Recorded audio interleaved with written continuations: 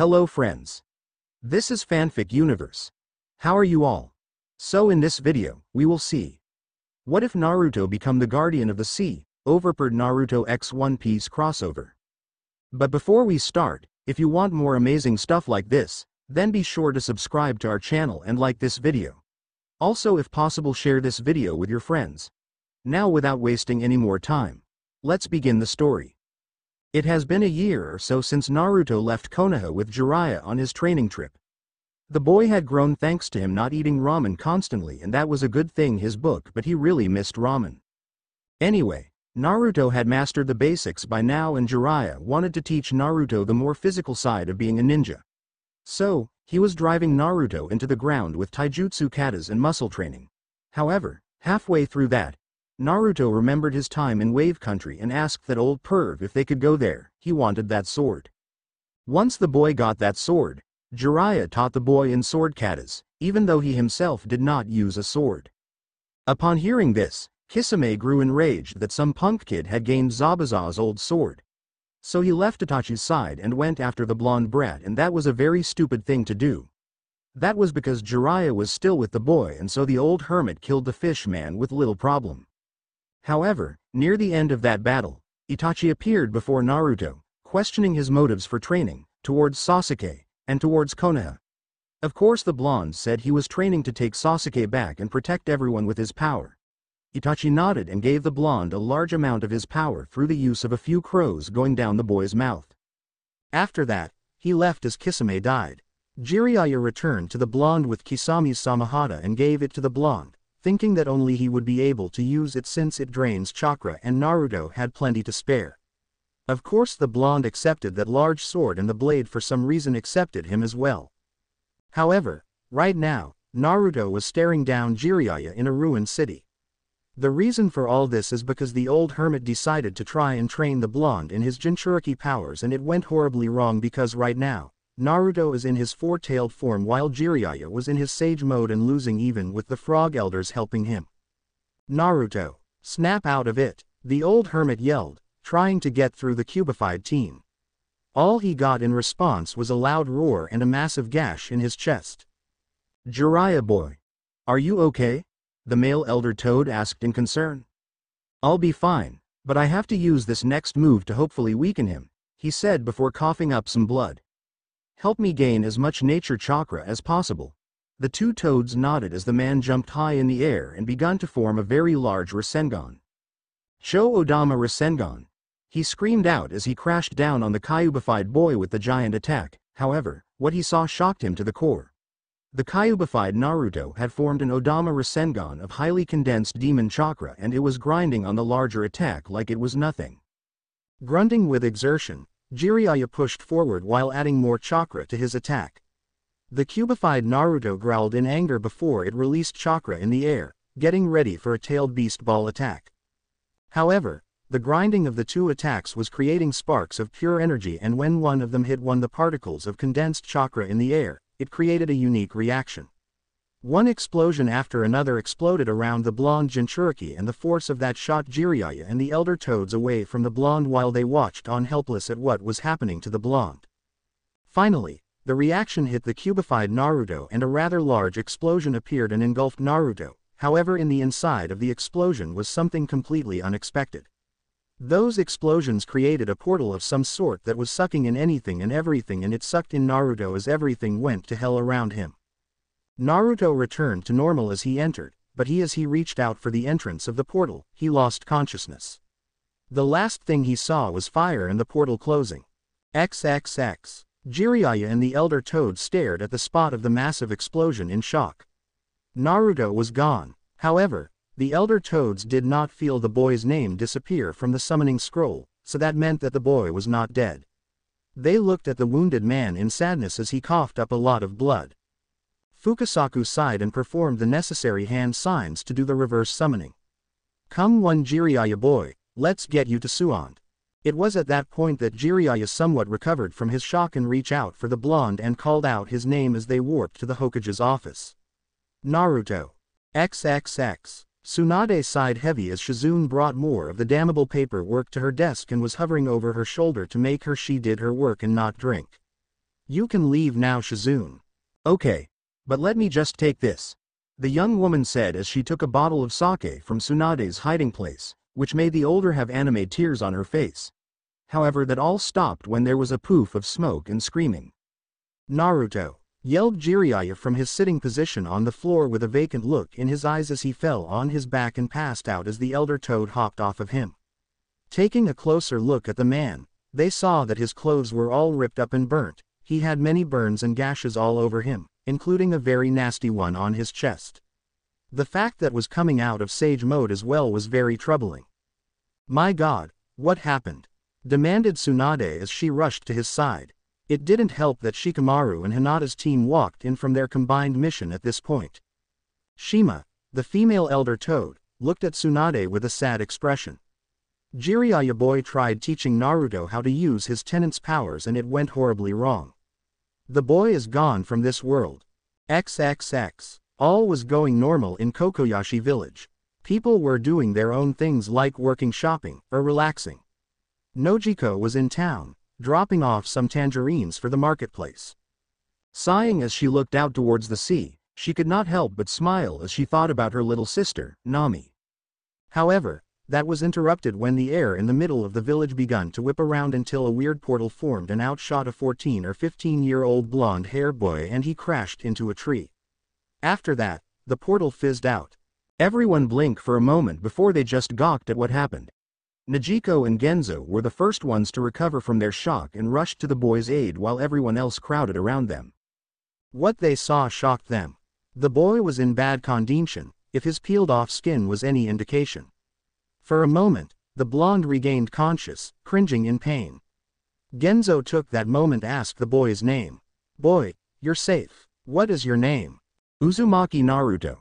The boy said before looking at the man, then at Nojiko before passing out again. I can't believe it. Naruto heard someone's voice as he began to wake up again, but kept his eyes closed. What do you mean doctor? A familiar voice asked. How can you not know what I am talking about, Genzo? Just look at the boy. Naruto assumed the man was doing just that because he heard a gasp. My god, his skin. It grew back this soon. What are the chances of that doctor? Hell if I know. In all my years, I never saw someone regrow their skin like that in just a few hours. The doctor said. I am a fast healer. Naruto finally spoke, scaring the crap out of the two men. The blonde opened his eyes to see two men. One looked to be a doctor and looked quite old and the other was a man that looked to be a soldier of some sort and had a lot of scars on his body. So, where I am. Am I anywhere close to Konoha? The two men looked at each other and sighed. I'm afraid not boy, Genzo said. You came out of this weird portal and you looked like absolute hell. What the hell happened? Well, I was on my training trip with Jiraiya to sharpen my ninja skills and he decided to train me in my other power but I could barely control it and I must have gone berserk. Naruto grimaced at that thought. I hope that old perv is okay. Well, we have no clue who this Jiraiya person is, so you must be very far from home. The doctor said. Well, with the way you came here, I am not surprised if you came from another world or something like that. Genzo replied. If that is the case, I am kind of screw on what to do now. Naruto replied with a deadpanned expression as he tried to sit up only to fall back in pain. Arg, I thought my chakra would have regenerated by now. I guess using that chakra is more draining than I thought. Chakra, is that a devil fruit power? Genzo asked with a raised eyebrow. Devil fruit, I have never heard of that. Chakra is the energy in all living beings and it helps me use my jutsu. Ah, I am guessing that this other chakra you obviously don't like is the one that did that to your skin. The doctor stated. Yay, I was on the four-tail. It hurt so much that I lost control. Naruto before he felt sleepy. Well, we'll talk later, it would seem that you need more rest. The doctor said as Naruto nodded and fell asleep. I would hate to have that power. Genzo stated. Maybe he didn't have a choice in gaining that power. Nojiko said, entering the room after she heard half of the conversation. Then who forced such a self-destructive power on such a young kid? Genzo asked but got no answer. XXX. Naruto woke up again, but it was not the room he had awoken in before with those two old guys. This was the sewer that was his mind. Sighing, he trudged through the lower water that was there and proceeded to Kyuubi's seal. On the way there, he noticed there was no malevolent feeling in the air and the sewer seemed to be cleaned up a bit. Making his way into the seal room, he noticed that nothing was grimy, the sewer system here looked absolutely new. Okay, this is weird. Weird it may be, but in this world, it has changed this place, and me.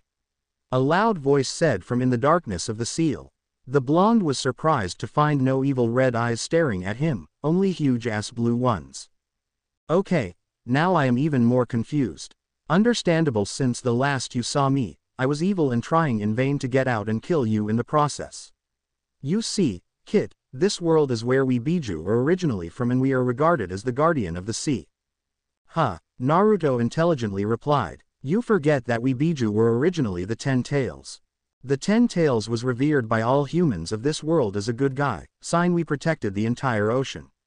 The fox said and it moved upwards to the cage and Naruto was shocked to find not red fur, but golden fur. When we found a portal to your world, we felt a lot of darkness and we decided to try and help, unfortunately that darkness affected us too much and we became dark ourselves. Now that I am back in this world, I can think clearly again. Wow, so your chakra won't hurt me anymore. Nope, but there is something that you must know. Since we were the old guardian of the sea, that makes you the new one and once you find our old temple, you will become the true guardian of the sea. Was not expecting that at all. Naruto replied with huge eyes. Yes well, you are about to wake up and I suggest you take a look in that cloak Jiraiya gave for your 14th birthday, it will have some useful stuff for you to train with. Naruto nodded before he disappeared from the mindscape leaving the good Kyuubi to his own thoughts. The Kyuubi's eyes widened. Maybe I should have told him that when he becomes the true guardian of the sea, he will be immortal. Nah, he'll figure it out. XXX. Naruto's eyes opened and he was once again in the real world. He looked out the nearby window to see that it was barely morning out as the sun was barely over the horizon. Sighing, he channeled chakra to his right arm to reveal a large storage seal that Jiraiya taught him to create and released the cloak from within. He never noticed Nojiko in the desk chair a few beds down. She had seen what he did and barely contained her shock, but she kept her cool and stayed where she was, looking like she was asleep. The cloak was blank, but when he touched it again, the graphics change into something unexpected. The bottom looked to be a calm ocean with a small island on it and the rest of it was a clear blue sky. Whoa, he whispered quietly to himself. On the inside however was a multitude of seals that he recognized as more storage seals. Deciding to test one out, he gained four scrolls, all addressed to him. He picked one at random and it was yellow. Dear Naruto, I am your father, Minato Namikaze. Yes, I was the fourth Hokage. Now I know you must be really made at me, but there was no other person that I could seal the fox within. I would not ask another family to do what I could not. So please, do not be too mad at your old man, and please know that I love you. Now, in the cloak that you got from Jiraiya, is the forbidden scroll, the true one.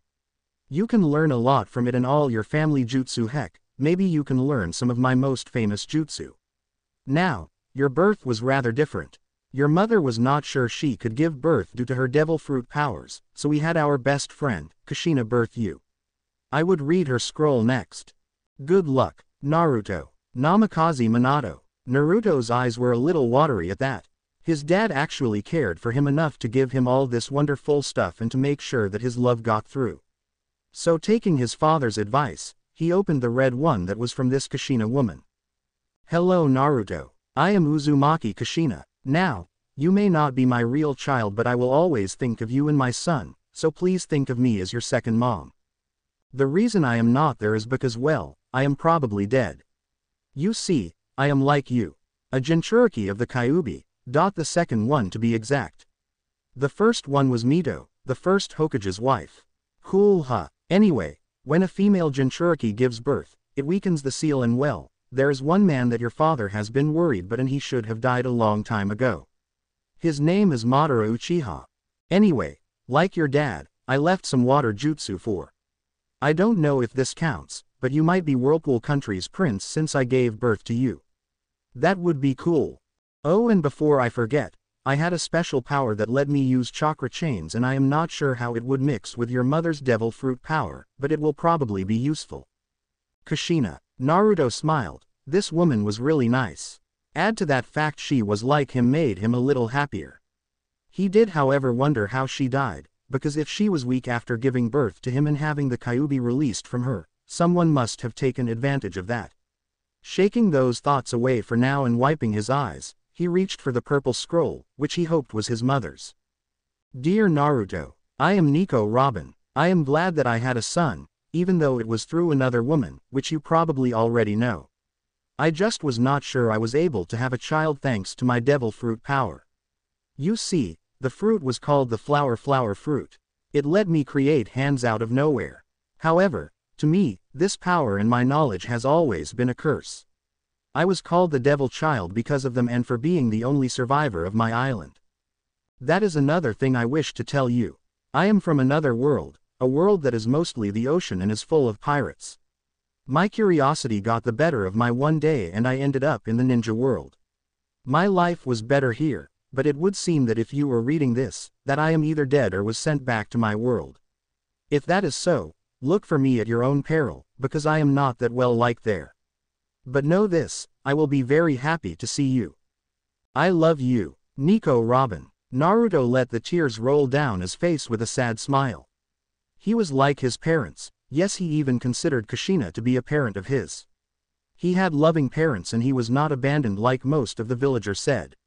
He was also surprised that he was part of this world and that he had a strange power because whatever devil fruit is in Kushina's chakra chains. All in all, he was very happy. Nojiko, from her position, really wanted to rush up and hug Naruto for whatever was making him sad, but she noticed that smile and didn't know what to do. Before she could do anything, he picked up the final scroll, which had a toad on it and he begun to read. Yo Naruto, it is me, Jiraiya. So, guess if you are reading this, something must have happened to me or we got separated and you finally decided to look at what was in the trench coat I got you for your 14th birthday. So, if either happened, I have left a lot of training scrolls for you in the storage seal of the coat. One is the key to your seal, and if I remember correctly, Minato said something about it being used to make a new seal, but I think your dad left a scroll somewhere in the coat for you. Not sure. Next is training on elemental manipulation and some chakra cards to see which element or elements you are aligned to. After that, is Sage Mode training and a list of all the toads available to you. Trust me, you need to contact Ma and Pa Toad to begin your Sage Mode training. Do your best Naruto, I believe in you. Your godfather, Jiraiya. The Gallant Toad Sage and the world's biggest super pervert. P.S. I also left you all the books I have created, including my first ever book and no it is not smut related. Oh and whatever a shadow clone learns, so do you. I can't believe you have no figured that out yet. He admits that fact he is a perv in the letter too. Geez, Naruto thought with a twitching eyebrow before he did a double take. Godfather. He had a godfather that was a sage. Holy shit. Add into that fact about the shadow clone thing, he wanted to hit himself. This, is a lot to take in, he said to himself. Well, I am here. You can talk to me about it. Nojiko said. Widening his eyes, he let out a scream of fright. He had not been paying attention to his surroundings. Finally, calm himself down to look at the amusing woman, he smiled and said. Hey, you scare me. How long have you been there? I spent the night here. I wanted to make sure you were alright. Oh and my name is Nojiko. The blue-haired woman said. I woke up around the same time you did. Oh, Naruto said and rubbed the back of his head. He was surprised that this lady, who didn't even know him that well, watched over him throughout the night. Hey, thanks for making sure I was alright. Anyway, I just read some letters from my parents for the first time. Getting a questioning look he elaborated. I have been an orphan since I was born. Oh, I am sorry. Nojiko said sadly. Ah don't worry about. I learned how to take care of myself. Anyway, I read that my birth was a bit odd. He said, telling her all that he knew. And add on to that fact that the idiot perv that I have been training with, was my godfather. Now I knew why he was not around. he had duties outside of the village and it was probably him that provided for since I knew old man Hokage could not do much with the idiot council breathing down his neck. Huh, oh nothing, I was not that well liked in my village because of what I have sealed within me. What they thought was a demon was something important here. Hey, I guess I really am like my mom since she is not that well liked here for her devil fruit powers. Wow, that is really something. Okay, who was your real mom and what is sealed in you? Nojiko asked, her head spinning with all the information the boy told her. We, my mom said her name was Nico Robin and the Kyuubi is the one sealed in me. Nojiko eyed the boy in shock. Wow, you mom is kind of infamous alright, but I think the world government is trying hide something. That is what they did with Nezumi after. Luffy got the blame and now he had a bounty of 30 million belly. She paused before sighing, but still, Having the strongest part of the guardian of the sea inside you is a lot to take in, after all, it has been gone for a long time. Well, it is. Okay okay. Nojiko laughed at Naruto's stubborn face. So what are you going to do now? Well, Naruto began. I don't believe my mom is dead, so I am going to train here some more and find a ship. Nojiko blinked. Well, I guess that seems like a good plan. She laughed a little, I guess we finally have a use for Arlong's ship graveyard. When you get released, I'll take you there. Naruto smiled. Thanks Nojiko, I'd like that. XXX. Once Naruto was released, Nojiko took Naruto across the island and through a destroyed old village. Of course Naruto asked what happened, so on the way, she told her younger friend all about Arlong and how Luffy defeated him when her sister, Nami, asked him to. After that story, he really wanted to meet this Luffy and his friends. At the moment, Naruto was blankly staring at all the wrecked ships in the ship graveyard. Wow, maybe I should make my own ship with all of this. Do you know who to do that? Nope, chirped Naruto. Then how do you plan on doing this? Trail and error, smirked Naruto. All that in training, he said while creating a buttload of shadow clones. Alright boys, let's get to work. Right. A loud chorus of voices responded. Nojiko stared in shock at what Naruto did before she sighed and said to herself. I have a feeling that he is going to throwing out a lot of unexpected things. Tsunade sighed heavily as she observed the village of Konoha. Ever since Jiraiya appeared in her office looking like hell, things in the village have been too quiet. She missed Naruto, but knew that the brat would not be coming back. Whatever happened to him, he was safe but unable to come back. Well, that was what Shima and Fukasaku had said when they met the blonde in the other world he had found himself in. So she sent over a scroll with all her medical know-how. She knew that the blonde idiot would not be able to use most of that stuff thanks to his horrible chakra control, but she hoped he found someone that could take care of him. Jiraiya had been in the state of pure shock for a whole week.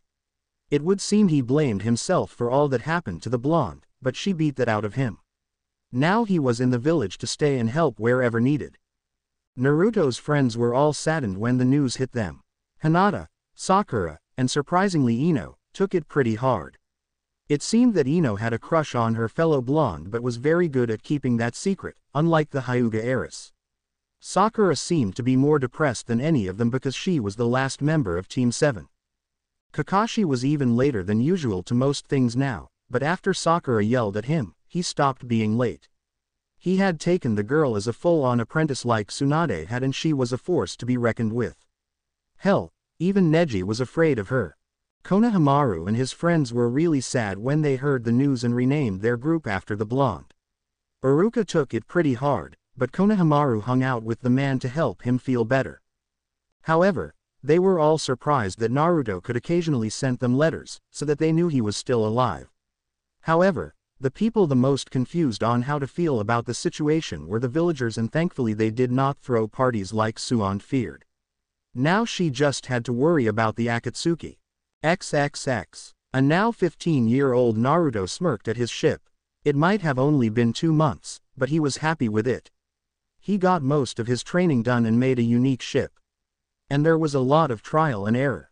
The ship he made had the bottom half of a marine ship, which had sea stone on the bottom of it and if some government ship had it, it must be a good thing. The top half was a mixture of some random boats and it looked pretty good, after he painted it and added a toad's head to the front of the boat.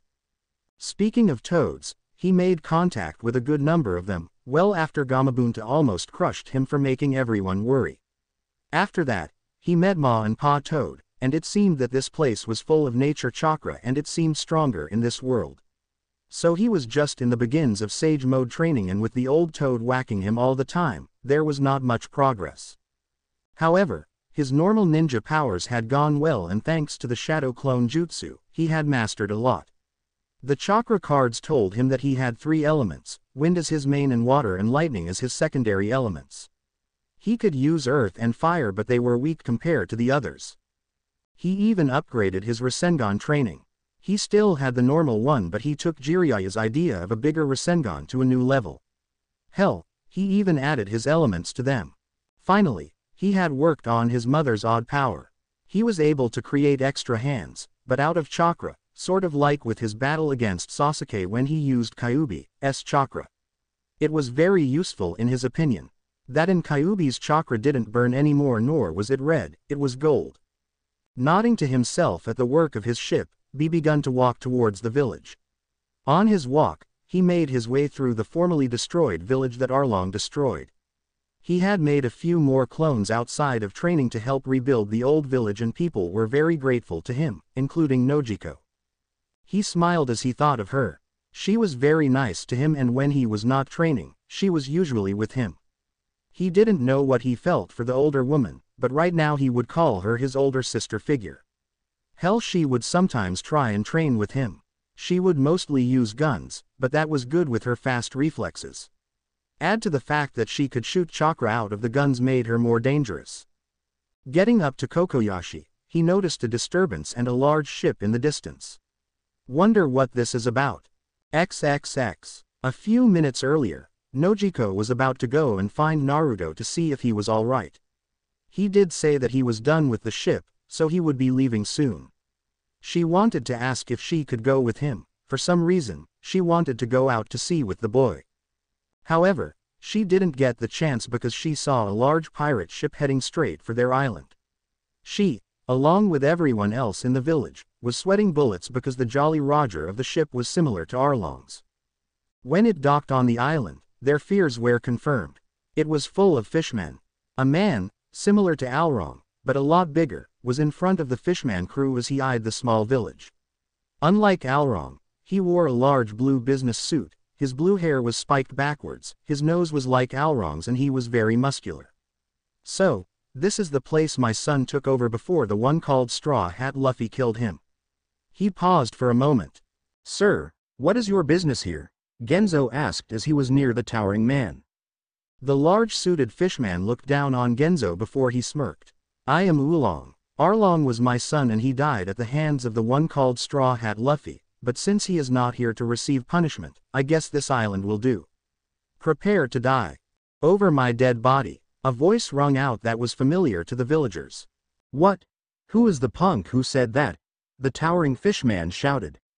Me. Naruto appeared on top of a building with Zabuza's sword on his shoulder. Uzumaki Naruto. Never heard of you kid, but I doubt you can beat me. I am a fishman, a being superior to humans. Oolong shouted, showing where Arlong got his mentality from. Says you, do you want to bet on that? Naruto asked. Oolong eyed the boy on the building. That sword looked heavy, so who knows? He observed Naruto's choice of clothes. The blonde wore blue shinobi sandals, blue jeans, a red shirt, black fingerless metal-plated gloves, and an ocean view-like trench coat, only the ocean looked to be getting ready for a storm. The boy also wore a headband but it was used as a belt, but he had never seen that weird symbol before. Hey. You got spunk kid. Sure, I'll take that bet. Where do you want to battle and what are the stakes? Naruto narrowed his eyes. Arlong Park. Now if I win, your crew is to get the hell out of here, but if I lose, you can do whatever you want. Oolong smirked. This would be a piece of cake. Fine, meet me in an hour. Boys, Oolong shouted, getting the attention of his crew. Do nothing until the battle is over. Right boss. They yelled. Oolong turned back to Naruto with an evil smirk. I can't wait. XXX. Naruto stood in front of the wrecked gate to Arlong Park, a bit nervous. Nojiko stood beside him, looking in worry. Do you really want to do this? I have to Nojiko-chan. Otherwise you all will be dead. Naruto replied with a serious face. I don't want anything happening you guys, especially you and the old man. You have done so much for me, now it is my turn to repay the favor. Nojiko looked at him sadly for a moment before she pulled him into a hug. Be safe and come out of this alive, she whispered. Nodding, Naruto hugged her back, before letting go and walking into the park just as most of the village showed up to watch as they did with Luffy and his crew. I hope that boy will be okay. Genzo quietly said, damn it. I should have stopped him. There is nothing we can do now. Nojiko said with a few tears in her face. XXX. Naruto walked in to find that all the fishmen were at the far end of compound and Oolong was standing in the middle on the place with a smug look on his face. You have guts kid, I will give you that, but you won't win, no one ever does when they fight me. I have 70 million belly bounty on my head. That shows how tough I am. I don't care, I won't let you win. I am fighting to protect those precious to me. Naruto shout back to an amused Oolong. Fine, it is your funeral. Oh wait, you were probably going to die with all of them anyway. Ha, huh, the fishman laughed. Naruto narrowed his eyes and got into a fighting stance, Oolong doing the same. When one of the fishmen coughed, they took that as the signal to begin. When they meet, Naruto found just how strong the man was. He was punched in the gut, knocking the wind out of him, and it sent him across the lot. See, I told you that you did not have a chance. He said, turning around, however, he heard crumbling as Naruto picked himself out of the rumble. That was unexpected, but back home, I am known as the most unpredictable ninja and I am not a dumbass like I made myself out to be. Naruto said with a bloody smile as he disappeared in a poof of smoke. Oolong eyed the spot the blonde had been in shock before he calmed down and dodged an attack from the left. Seems there is more to you than I thought. This will be fun, he yelled as he grabbed the blonde by the leg and slammed him into the ground and then stomped on him. The Naruto he crushed went up in smoke like the other one. So another decoy, but I doubt you can keep this up for long. Says you. Naruto said from high in the air. Shadow Clone Jutsu. He yelled and the area was filled with 100 clones. 100. They yelled as they rushed the large fishman before punching the man in the side. You. They then punched the man in the air. Zoo. They appeared up in the air with him and slammed him to the side. Ma. They did it again. Ki. They punched the man higher in the air. Naruto High Velocity Crush. He yelled as he and the clones slammed their feet on the guy, sending him to the ground in a large crater, kicking up a lot of dust. All the fishmen and the people of the island stared in shock at what they just witnessed. They weren't sure how it was possible but Naruto just created clones of himself and kicked Oolong's ass, or so they thought. They began to hear maniacal laughter. Finally, someone worth fighting. When the dust cleared, they saw the large fishman standing like nothing had happened with Naruto not too far away. However, they noticed the suit was all ripped up now. I am glad I decided to fight you boy. Show me the power of your devil fruit more. Ah, I didn't eat one. These are ninja powers, Naruto replied. Seriously, a normal human, what fun. Oolong shouted and he lifted his hands and the water behind him rose. My power is to control water. Ha, rapid white caps, he shouted as the water split off to create huge bullet-like objects that flew at high speed at the blonde. Naruto's eyes widened as he twisted around the large bullets of water but he saw one that he could not dodge, so he made his large sword appear and sliced it down the middle. That was like jutsu, two can play at that. Ice style. Twin Black Dragon Blizzard. The blonde shouted as two huge black dragons rushed towards a shocked oolong and then that flung him high in the air. I am so glad I can combine elements, otherwise I would not be able to do that jutsu that, that ass from Snow Country did on me. Wind style. Tornado drill. A massive tornado came down on the blonde until it wrapped around his fist and spun fast into a drill-like attack. Using the wind element, he jumped high in the air and slammed the attack against the giant man's chest, ripping up the suit and actually making the man bleed. He crashed down on the ground while Naruto landed gracefully. When Oolong got back up, the top half of his suit was gone and he was bleed slightly. You made me bleed. Now I am mad, He raised the water again and yelled, White Rapids. The water shot all around hitting anything that it came into contact with. It even flooded the place and he smirked. Now he had the advantage. However, he was once again shocked, like everyone else, that the blonde was walking on the water and not in it. What the hell are you? I told you, I am a ninja, Naruto said calmly with a smile and performed a few hand signs. I only know part of this jutsu from watching Sasuke. But it doesn't matter because it has Naruto flair to it. Lightning style. Chidori EMP. He pushed a large amount of chakra into this and a few pulses of pure lightning poured into the water, giving Oolong the shock of his life. He barely registered that everything around him was the sound of thousands of birds chirping. Hey, fried fish anyone? Naruto joked. Oh. Growled Oolong. You think you are so funny. Well I am going to kill you. He screamed in his shark-like rage. The look on the enraged fishman's face was a little off-putting for Naruto. His eyes widened when the man disappeared from view and before he knew it, he was sent into the wall. Oh shit. Enraged fishman equals stronger fishman. Wrenching himself out of the wall, he noticed that his sword was near the middle of the park, stuck in the ground. The force for punch must have knocked it out of his hand. However, before he could go to it, was blindsided and sent across the park, but he did not crash into the wall. No, he was knocked around the park, much like what Lee did to Gaara. Luckily for him, he put a seal on his clothes to have them repair themselves when they got damaged, but his body was a different story. That got thrashed. Soon, he felt himself being held in the air. Well boy, you may have thought you could win, but like I said to you before. No one can beat me. He shouted before punching the boy in the gut one more time, making the blonde cough out blood. He then felt a hand around his neck as he was forced to look out of the gates, to everyone watching, counting on him to win. He saw all their faces. Some looked shocked at the show of power between the two, while Genzo looked on sadly at Naruto's beaten form, with blood running down half his face. It was Nojiko's face that really hurt him. She was crying, he really hated to see her cry. Oolong seemed to pick up on this and smirked. Yes, you will die, but they will join you soon. That blue-haired girl will be the first of them to join you. Hey, you don't have the power to protect them. Ha ha ha. Upon hearing this, Naruto's blood ran cold and he felt himself drawing on Kyuubi's energy and his wounds healing as a golden aura appeared around him. I won't let you touch them. He growled out as he twisted a bit in the fishman's grip and held out his hand to form a golden sphere of chakra. Rasengan. He slammed the swirling ball on energy into the man's chest, sending Oolong spiraling towards his crew. With the golden aura swirling around the blonde, he made his way to his sword embedded in the ground and stood next to it. Oolong and his crew looked wide-eyed at the blonde before the captain hacked up a few globs of blood and looked at the large spiral pattern on his chest as it bleed profusely. He growled weakly as he got back up. I am going to enjoy killing you and your friends.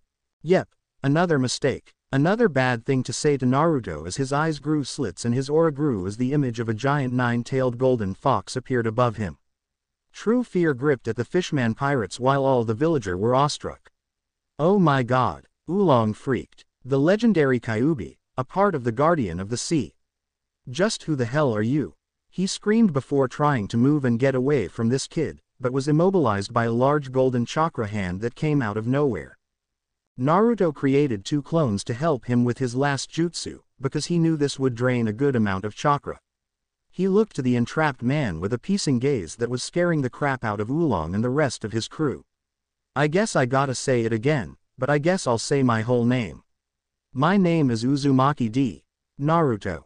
What? Oolong yelled in fright as the Naruto clones created a large sphere over the original with his hand up in the air. It then begun to scream loudly as the wind whipped around it as oddly curved blades formed around it. This might be overkill but oh well. Eat this. Wind style. Rasenshuriken. As his shadow clones disappeared, he threw the attack at the man and his crew, who had the deer in the headlights look. The villagers witnessed a giant ball of swirling energy form around the crew when the attack hit and all that was heard was the screams of pain and the tiny wind blades slicing them up. When it cleared, all that was left of the fishman crew was bloody corpses. Naruto smiled weakly as the villagers recovered from their shock and rushed up to the blonde to see if he was okay. Nojiko was the first to find her voice. Naruto, that was so amazing. Thanks. Naruto smiled. It was all worth it to keep you all alive. Now, if you don't mind, I am going to pass out now. He did so right after that. Lucky, Genzo caught him. Geez, this kid is something else, especially if he had the Kyuubi with him. Yeah, something else all right. Nojiko said with a smile as she looked at the blonde fondly. She looked at the villagers and said, Someone bring that sword, we need to get Naruto out of here. A few people did so without problems, but once they got it out of the ground, the blue-haired woman could not help but laugh when they began to complain how heavy it was. XXX. A few days later, on the Grand Line, Nami had just gotten the paper again and sat down to read. Like usual, a wanted poster fell out and she assumed it was one of them. So picking it up, she was shocked to find it was none of them and the fact that the guy looked younger than them. Holy crap, summed it all up. That brought the rest of the crew over to see what was up. They eyed the poster in shock as Nami read the headline in the paper. The notorious pirate Oolong and his crew, also the father of Sawtooth Arlong, attacked the small village of Kokoyashi. He threatened to destroy the place since Straw Hat Luffy was not there. A young boy challenged him and won in a stunning display of power, but not before shouting out his name, which is Uzumaki D. Naruto. Since he beat Oolong, who had a 70 million belly bounty, Uzumaki D. Naruto aka Demon Eyes Naruto, now has a 90 million belly bounty. He is said to be able to control wind, ice, lightning, clones, and pure energy. They could not believe that a kid could have such a high bounty on his head for defending a small village from a notorious pirate. Zoro looked at boy pictures, the one on the newspaper, which had a full-body picture of the kid in front of a large sword, blood on his face, and him holding up a large ball of energy with four curved blades on it, and then poster with a close-up of his face that showed that his eyes were slitted. TCH, Guess if you don't proclaim yourself a bounty hunter or are not part of the Marines, that makes you a pirate when you kill a pirate. Still, nice sword kid, good luck, you're going to need it. Oolong. Sounds like someone got lazy and stole a name from another anime. Luffy mused out loud, getting odd looks from his crew. What, is there something on my face? Nami shook her head with a smile. Nothing Luffy. She looked back to the paper and smiled at the blonde. Thank you, Naruto, for keeping them safe. The next day, Naruto is seen on the decks, looking out onto the blue. He found out he had put in way too much chakra in his last attack. Still he was glad he beat that guy, no one messed with his friends, ever. After that, Kyuubi had informed him that thanks to using his chakra after Naruto's own was drained, the blonde's chakra reserve tripled and it will happen each time that happens. After all, Naruto was going to the Guardian of the Sea and would need an ungodly amount of chakra to pull it off. Nojiko smiled as she and Genzo walked up to the boy. So, today is the day, huh? Yep. Naruto replied sadly until he looked at the woman to see that she had a backpack on. Going somewhere? Nojiko smiled as Genzo slapped his face. I am leaving with you. Someone has to take care of you out on sea, or do you want to travel by yourself? Naruto's face cracked into a true smile. Yeah, I would like that, but what about those awesome oranges of yours? They are tangerines and the villagers will take care of them. Nojiko said, and there is another reason I am going with you. I think we will run into my sister out there. Nami. She is the girl who is with the Straw Hat crew, right? A nod. Welp. Sounds good to me. Genzo smiled. These two made quite the pair and he was sure that this brother and sister relationship they had would be something more in the future, no matter the age difference. He then blinked and asked, So, where is your ship? Oh that, Naruto said sheepishly as he rubbed the back of his head. I kind of forgot that I built it in the middle of the ship graveyard. So, my clones are taking care of that. The two looked at him with deadpanned expressions before Genzo slapped his face again. Of course, he should not be surprised with this kid. So that is what those explosions were about. Hey, yep, Naruto cheered as his ship came up to the pier with his clone shouting that they had arrived before dispelling. He blinked and said, wow, they really did a number on that place to get out. Wow, it is big and looks like it could go fast, Nojiko said in wonder, but was confused about the toad head on the front. Biting back a, that's what she said, joke, he turned to Genzo and smiled, thanks again old man. Genzo smirked before pulling in the blonde with an arm around him. I am going to tell you the same thing I told that Straw Hat kid. Don't hurt her or I will kill you. Naruto blinked in confusion. I am not going to hurt her. Why would I do that? Genzo laughed. This kid was good, but stupid like Luffy. You'll know in time. Okay. Naruto shrugged before he grabbed hold of Nojiko's arm. Come on, adventure is waiting and so is the last of my family.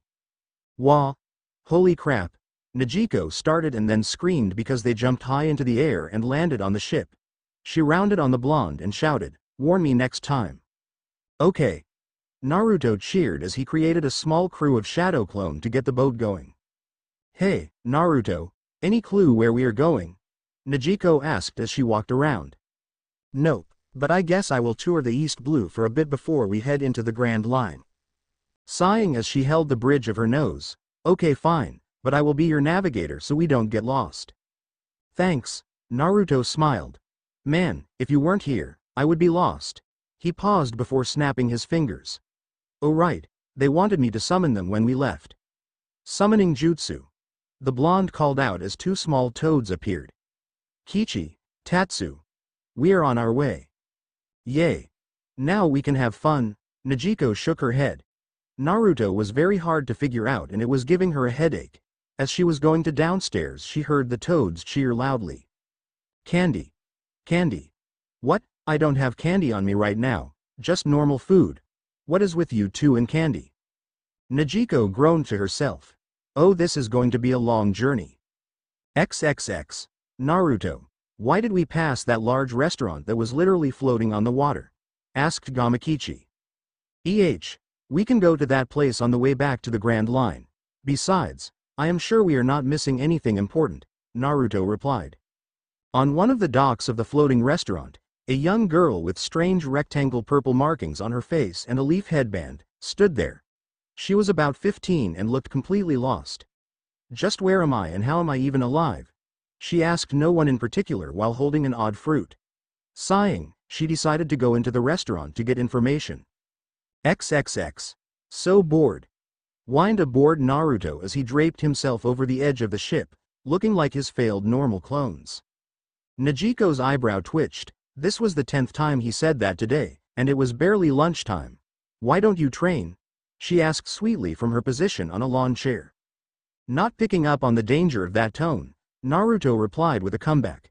Well, I could increase the weight on these gravity seals on my body, but the jutsu I use are too destructive to use on this thing. Okay, what about those toads or that weird chakra hand power of yours? asked Nojiko. Naruto laughed nervously. Well, other than Kichi and Tatsu, most of the other toads are big and heavy. You obviously don't like it when the three of us argue by the way you shot at us. Well, you guys would not stop arguing and Kichi was very rude, Nojiko said annoyed. Naruto scratched the back of his head sheepishly, then I doubt you would want to meet Ma and Pa Toad. They argue a lot and they're old and senile. At this, Nojiko could not help but laugh. Oh man, you have some of the weirdest friends. She paused for a moment. Wait, I am your friend so that makes me weird too. Yep. Chirped Naruto. You weren't supposed to agree, Nojiko cried before she calmed down. Now what about that chakra hands? Blue hands made of chakra rose up from the ground and tickled Nojiko's sides, making the girl helpless as she couldn't help but laugh. EH. I can use these in my taijutsu and again, it can get destructive, but simple things like this is fun, laughed Naruto before he turned his head and saw an island coming up and let his chakra hands disappear. Once Nojiko recovered, she didn't know whether to bash his head in or be glad that an island was up. She would admit that what he did was fun and a good time killer but it was still embarrassing since she was still ticklish. She was just glad the idiot it was not a pervert, Shaking her head and checking the map, she said, seems this is place is called Gecko Island, home of Syrup Village. Cool. Let's check it out, cheered Naruto as the ship stopped at the bottom of a hill that looked like it was the site of a battle at one point. They hopped down and begun walking toward the village. Well that was until they went deeper into the forest and wooden puppets with flags popped out. Surrender pirates. Sounds a child's voice. There are two of you and three thousand thousand of us. You will not harm out village. Naruto blinked stupidly before he gained a twitching eye. He crossed his arms and said, Wow you're a worse liar than Kakashi-sensei.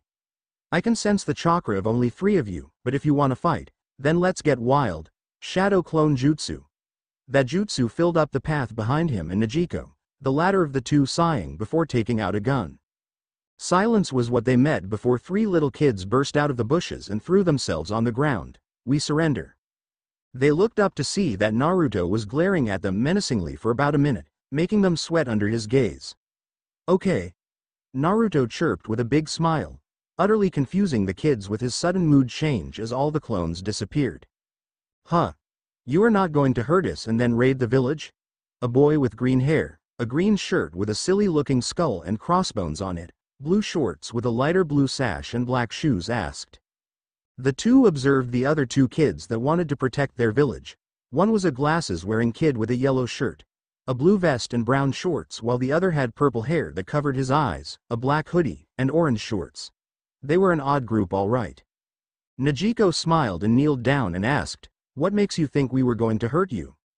Well, the purple-haired kid began, we saw your odd ship and thought you were pirates that were going to raid our village. Ah don't worry, we might be considered pirates but we just stopped here to check the place out. I was bored and wanted to see that place. Naruto said, by the way. My name is Uzumaki D Naruto and don't ask what the D stands for because I have no clue. So, what are your names? This guy is kind of like that Luffy guy. The boys thought before getting into an odd formation. Carrot. The purple-haired boy stated. Onion. The glasses-wearing boy said. Pepper announced the purple hair boy. And we are the Usopp pirates, they cheered. Cool, Naruto smiled. These little kids reminded him of the Konohamaru and his gang. He would have said more if his stomach did not just rumble loudly. Scratching the back of his head, he asked, You guys would not happen to have a restaurant here, would you? Nojiko couldn't help but laugh at her blonde shipmate, but her stomach growled as well. I second that I guess. Laughing, the kids lead the way into town, XXX in the mansion of the small village, Mary. A strange-looking man with curly white hair with curled goat horns in it and a black suit, walked into the room of his employer. Oh Miss Kaya. How are you today? I am great Mary. Said the carefree girl. She smiled at her butler and asked. Any new news on Usopp and his friends? I am afraid not. Mary smiled sadly before it grew. Oh I got word from one of the kids that hung around with him that there are two pirates on the island and they seem to be like Luffy's crew. Oh, let's go meet them, the happy girl suggested before running off, laughing. Of course miss, laughed Mary. XXX, oh this food is so good, stated Naruto as he crowed down. I agree, but do we have enough money for this? Nojiko asked. Oh yeah. I got plenty of money, Naruto said, waving her off. I went to this exchange place back in Kokoyashi and exchanged all the money my parents left me. Apparently, the money from back home is in the system and now I am rich, so, I got plenty of money. Nojiko smiled. Good, and as soon as we get to a larger island, we are going shopping. Shrugging, Naruto replied, fine with me. Poor idiot did not know what he was in for. Suddenly the door to the diner they were in burst open and in came a young girl. Nojiko noticed that she had long blonde hair, with a yellow striped shirt over an orangish dress and red boots. The girl looked directly at them since she knew they were not from around there. Hello? Are you two pirates? Sweat dropping, Nojiko answered since Naruto's face was stuffed with food. I wouldn't call us that, but the Marines would. I am Nojiko and the lughead stuffing his face over there is Naruto. Nice to meet you. I am Kaya. I live in the mansion on the hill. Nice, but you don't seem like a rich girl. Naruto said. I mean, you are not stuck up like most of the rich people I have met. He paused as he put a hand to his chin. Of course, Princess Koyuki was the exception. That got a questioning glance from Nojiko. Well, I guess I am like that princess, Kaya said happily. Cool with me. Smile Naruto. You are so easy to please Naruto, Nojiko said with a smile. Hey, I am a simple person. Naruto said with a shrug. I figured that. Nojiko thought with a smile. Hey Kaya. Onion chirped in. You should see this guy's ship. Yeah, it looks like he put it together using different ships, Pepper said. Yeah and the giant toad head is a bit weird. Carrot put his input. Oh it is not that bad. Nojiko said, waving off the comments as she sweat dropped at her blonde captain, who was in the corner of the room, with his hand on the wall and his head down in a storm cloud over him while he kept muttering about doing his best. I am sure it is wonderful and I am sure Mary would not mind help in fixing it up, Kaya replied. Really? Naruto said, in front of the girl with stars in his eyes, scaring Nojiko a bit with his sudden mode change. You would do that for us. I mean you barely know us. Oh I don't mind. Something tells me you are like Luffy and his crew, Kaya said with a smile. You know Luffy and his friends? asked a shocked Nojiko. Yes, they saved my life from my other butler, Captain Kuro, who wanted to kill me and keep all my money. Wow. Nojiko said. Uh, was an orange-haired girl with them at the time? Yes. Nami I think her name was. Great, I am her sister, the blue-hair woman stated. That is wonderful. Kaya cheered.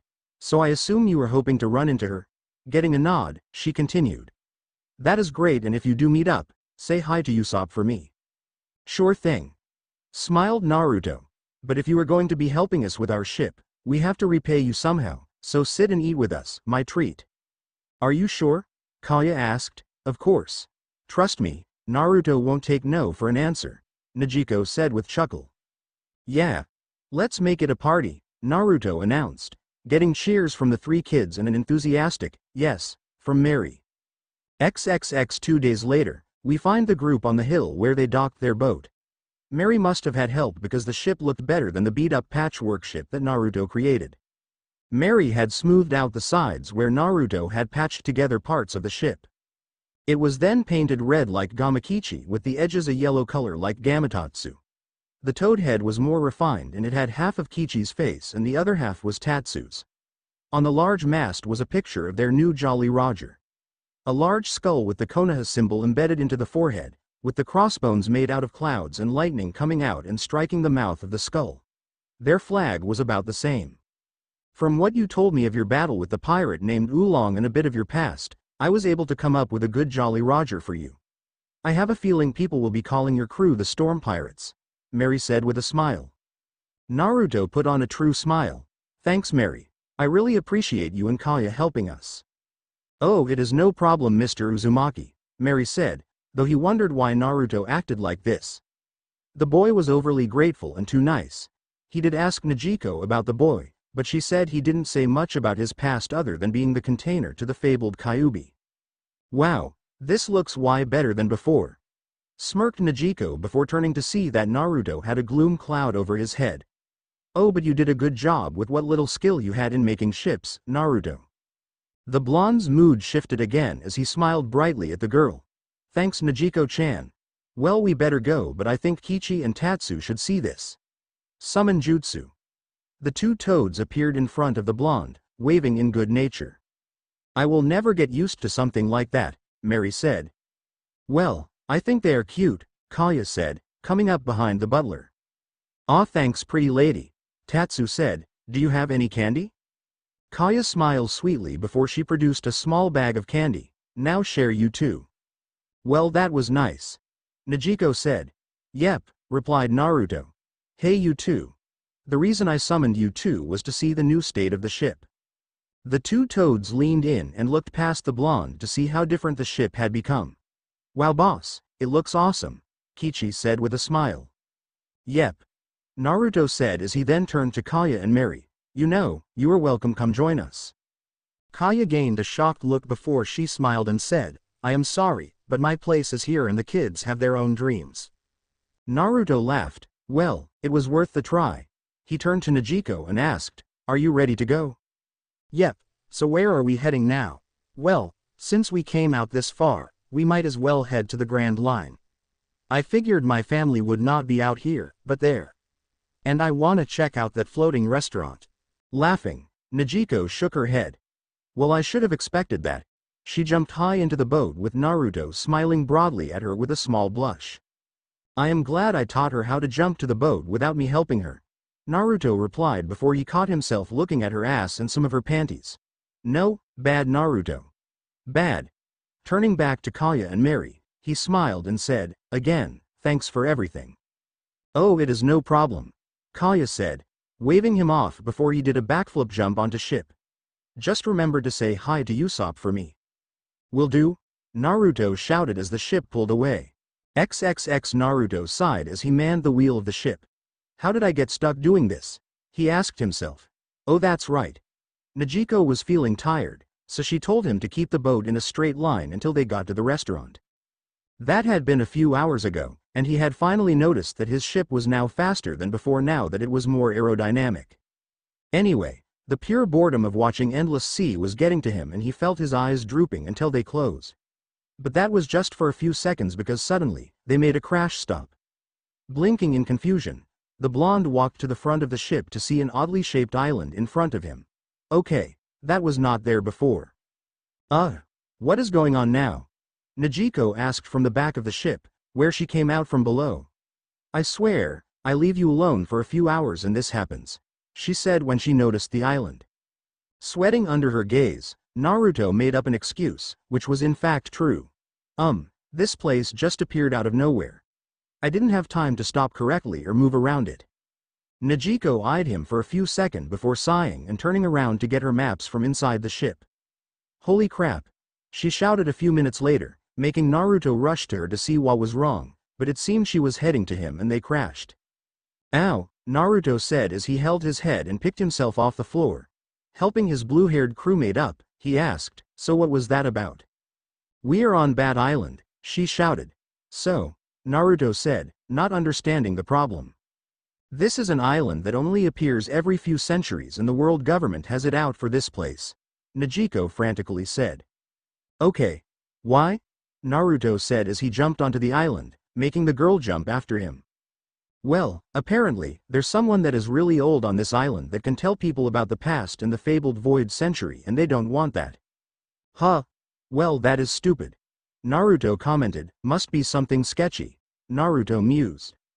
Right. So they come here every time this place appears and they try and get rid of that person. Now we need to get off this island. Nojiko cried, trying to get her captain back on the ship. It is a bit late for that, a voice said from on the far end of the small bat-shaped island. They saw a person on a small old-looking house. She had platinum blonde hair, blue eyes, a strange-looking yellow police uniform that they had never seen before that was short-sleeved, and it looked like it barely held in her S. Though, the sleeves were different as one was gray and the other was red. The uniform ended in at her thighs in a skirt-like way. She had white gloves on her hands and thigh-high whitish boots to top off the weird-looking rifle that was way taller than her and she was holding it up like it was nothing. The Marines are coming here, pirates, so you better choose a side, the girl said. That is when they saw the Marine ships on the horizon and there could be at least 50 or more of them. Nojiko screamed in horror while Naruto blinked at them in confusion before his eyes grew dangerous. It was not her fault that this woman has lived for so long, so these guys should just leave her alone. She is not doing anything to them. Fine, I am on your side miss. I am Naruto D. Uzumaki by the way. The girl on the roof had wide eyes at the mention of the D. Intital but shook it off. Obviously this kid did not know the meaning of it and it seemed he seemed to sympathize with her on some level. Victoria Seras. Are you ready to kick some ass Naruto? Hell yeah. Naruto cheered. Oh you two are nuts. Nojiko cried. Relax Nojiko-chan. I wouldn't let anything happen to you and besides, you have water jutsu on your side. Naruto promised. The blue-haired woman seemed to calm down just a little bit, but was still nervous. Seras saw this and figured that the boy must have a calming affect about him because she had calmed down a bit as well. She cut her eyes to the ships that were coming their way. Let's do this. So, what is the plan? Nojiko asked. When they get near, they will start attacking like usual. It is the same plan for them every time. So we just go all out and blast them away, Seras said. Marines are not that smart, are they? Naruto asked with a deadpanned expression. Nope. Seras stated. What if we have to take the fight to them? Nojiko asked as the ships got closer. Then, that what we will do. Seras stated as she stared at the coming ships. Yeah, don't worry Nojiko-chan. I'll carry you on my back while I water walk if it comes to that. Naruto offered, getting an odd look from Seras. You should have taught that to me as well, shouted the blue-haired woman. Naruto rubbed the back of his head nervously. I didn't think to do that yet, he said, making both women face vault. Besides, I have to teach you how to tree climb with just your feet first. Oh great. Nojiko sighed. Seras, however, was wondering what the hell the boy was talking about. Girl who has lived on this island for countless years. A voice rung out from one of the marine ships. According to the world government, you have lived too long and are a danger to the world government. We are to put you down. Naruto now had a pissed off look on his face. He sucked in a lot of air and shouted out his response before Seras could retort. Just who the hell you think you are to decide the fate someone. He paused, not seeing the shocked look on Seras's face.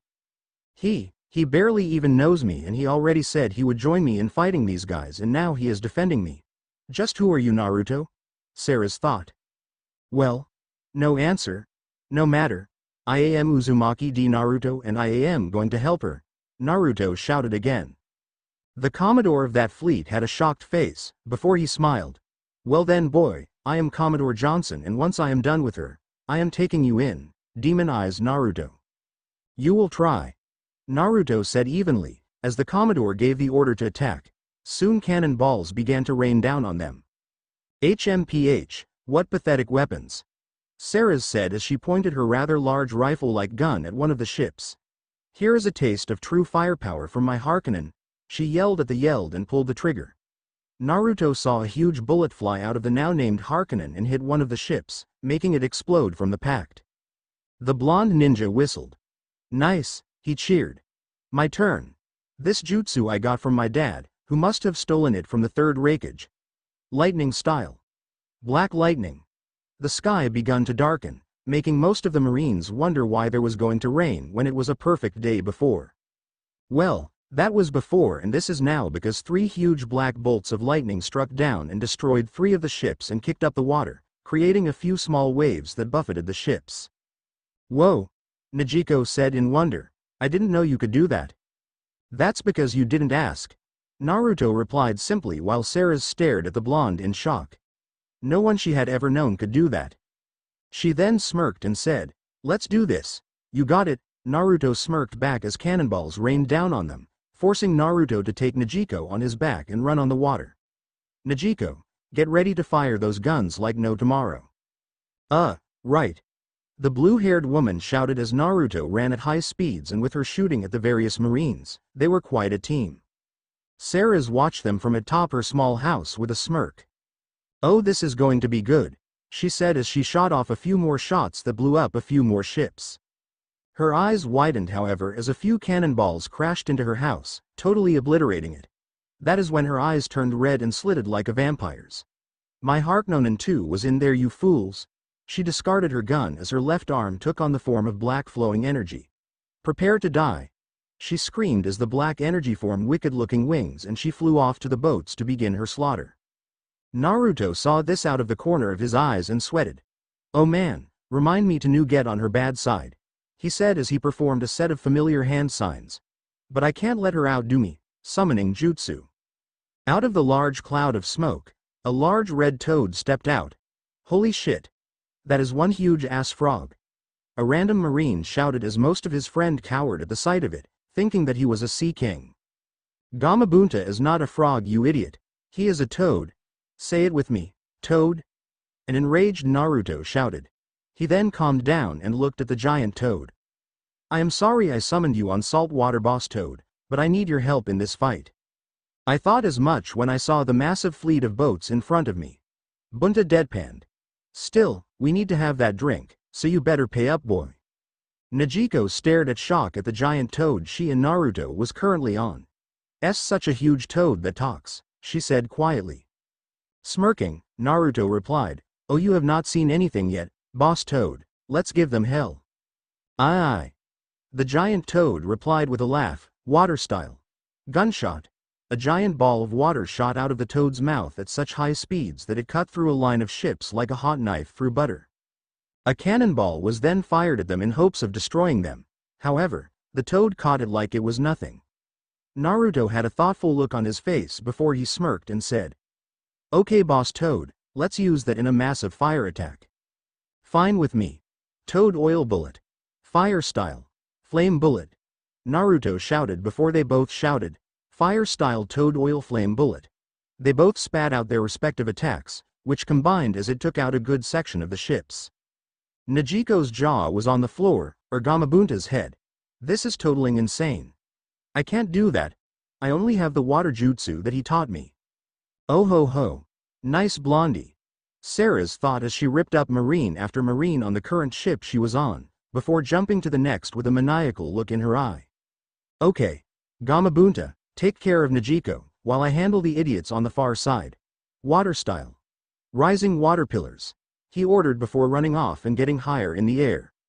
What, are you crazy? Nojiko cried out. Don't worry, since we are in nothing but water, your jutsu are stronger than usual and you won't waste too much chakra, you'll be fine, Naruto shouted as he dodged cannonballs while doing hand signs and all with a smile. The blue-haired blinked at that and smiled at the bit of information. Usually, it was pretty hard to do water jutsu on dry land, but Naruto was right, she had water all around. Smirking as she gained her confidence, she stepped up between the toad's eyes and said, Well Mr. Bunta, looks like we have our work cut out for us.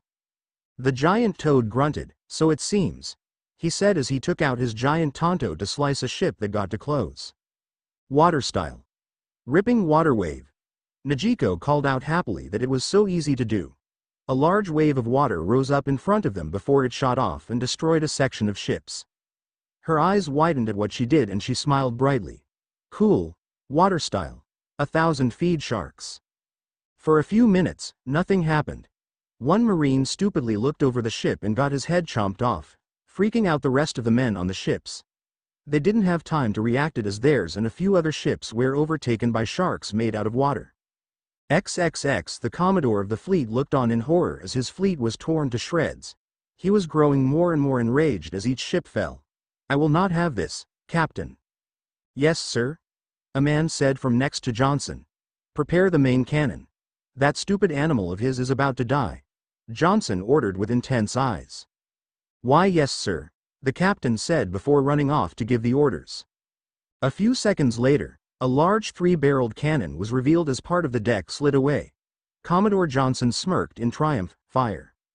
A crack of air was the only warning they got as three two-story house-sized cannonballs zoomed off to end the giant toad's life, along with the girl on him. Oh not good.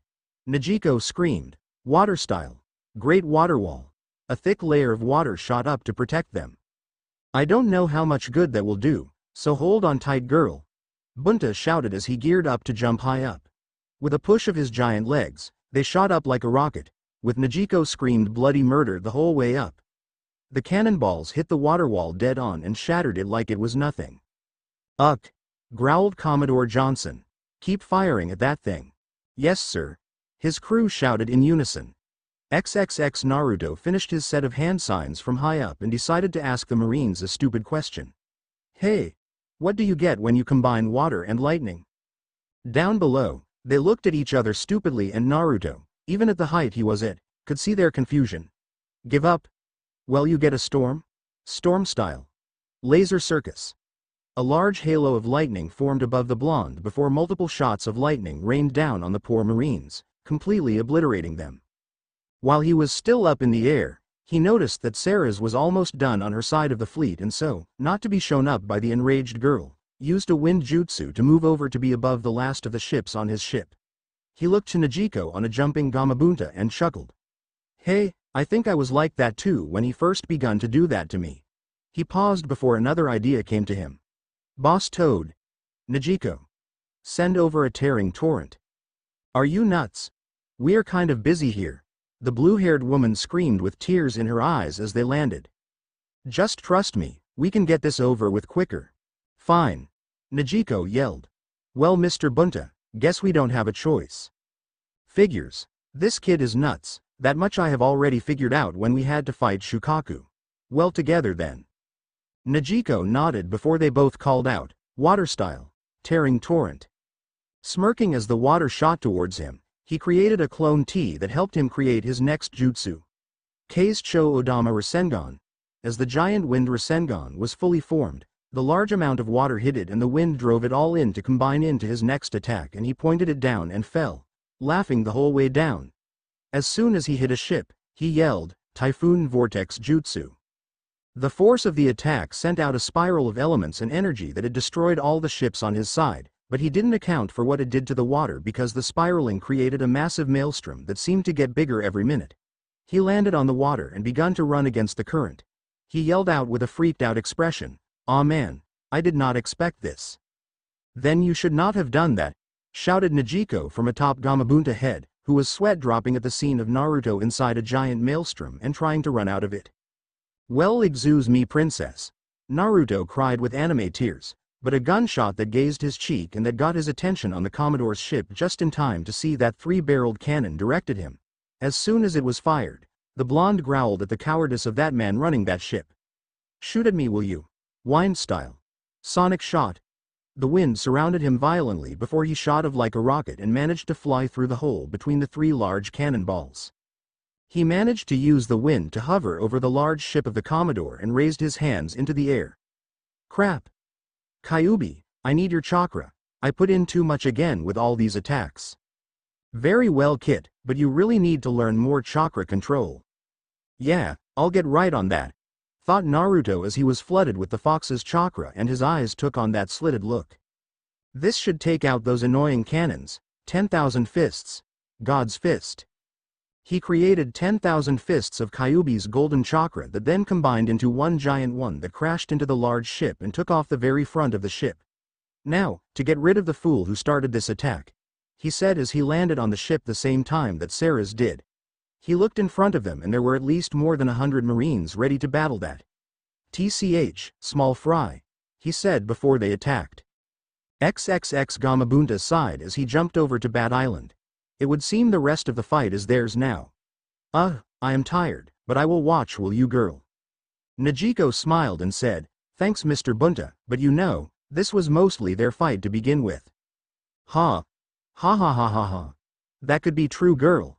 I can see that you are the smarter of the two. Gamabunta laughed.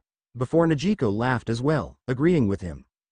XXX as Naruto was cutting down the marines with just taijutsu, he noticed that Seras looked tired, but her berserker state was not letting her rest.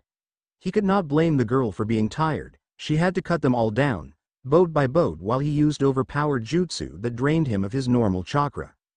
Kyuubi saw this and sighed, Kit, since most of these goons are gone, she will need to rest. You need to get to her and put your palm to her forehead. I will do the rest. Right. Thought Naruto as he rushed up to the girl, but since she was still in her berserker mode, she could not distinguish between friend or foe, so she tried to attack with that black energy that her left arm turned.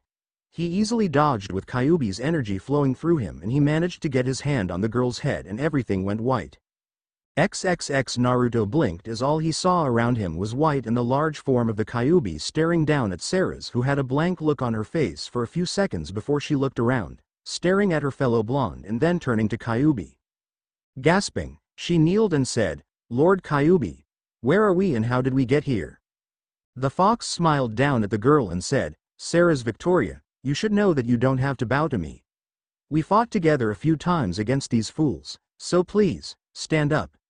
Seeing her do so hesitantly, he continued. Now to answer your questions. We are in your mind at the moment and my heir brought us here. Seras eyes widened as she turned her head to Naruto at that bit of information.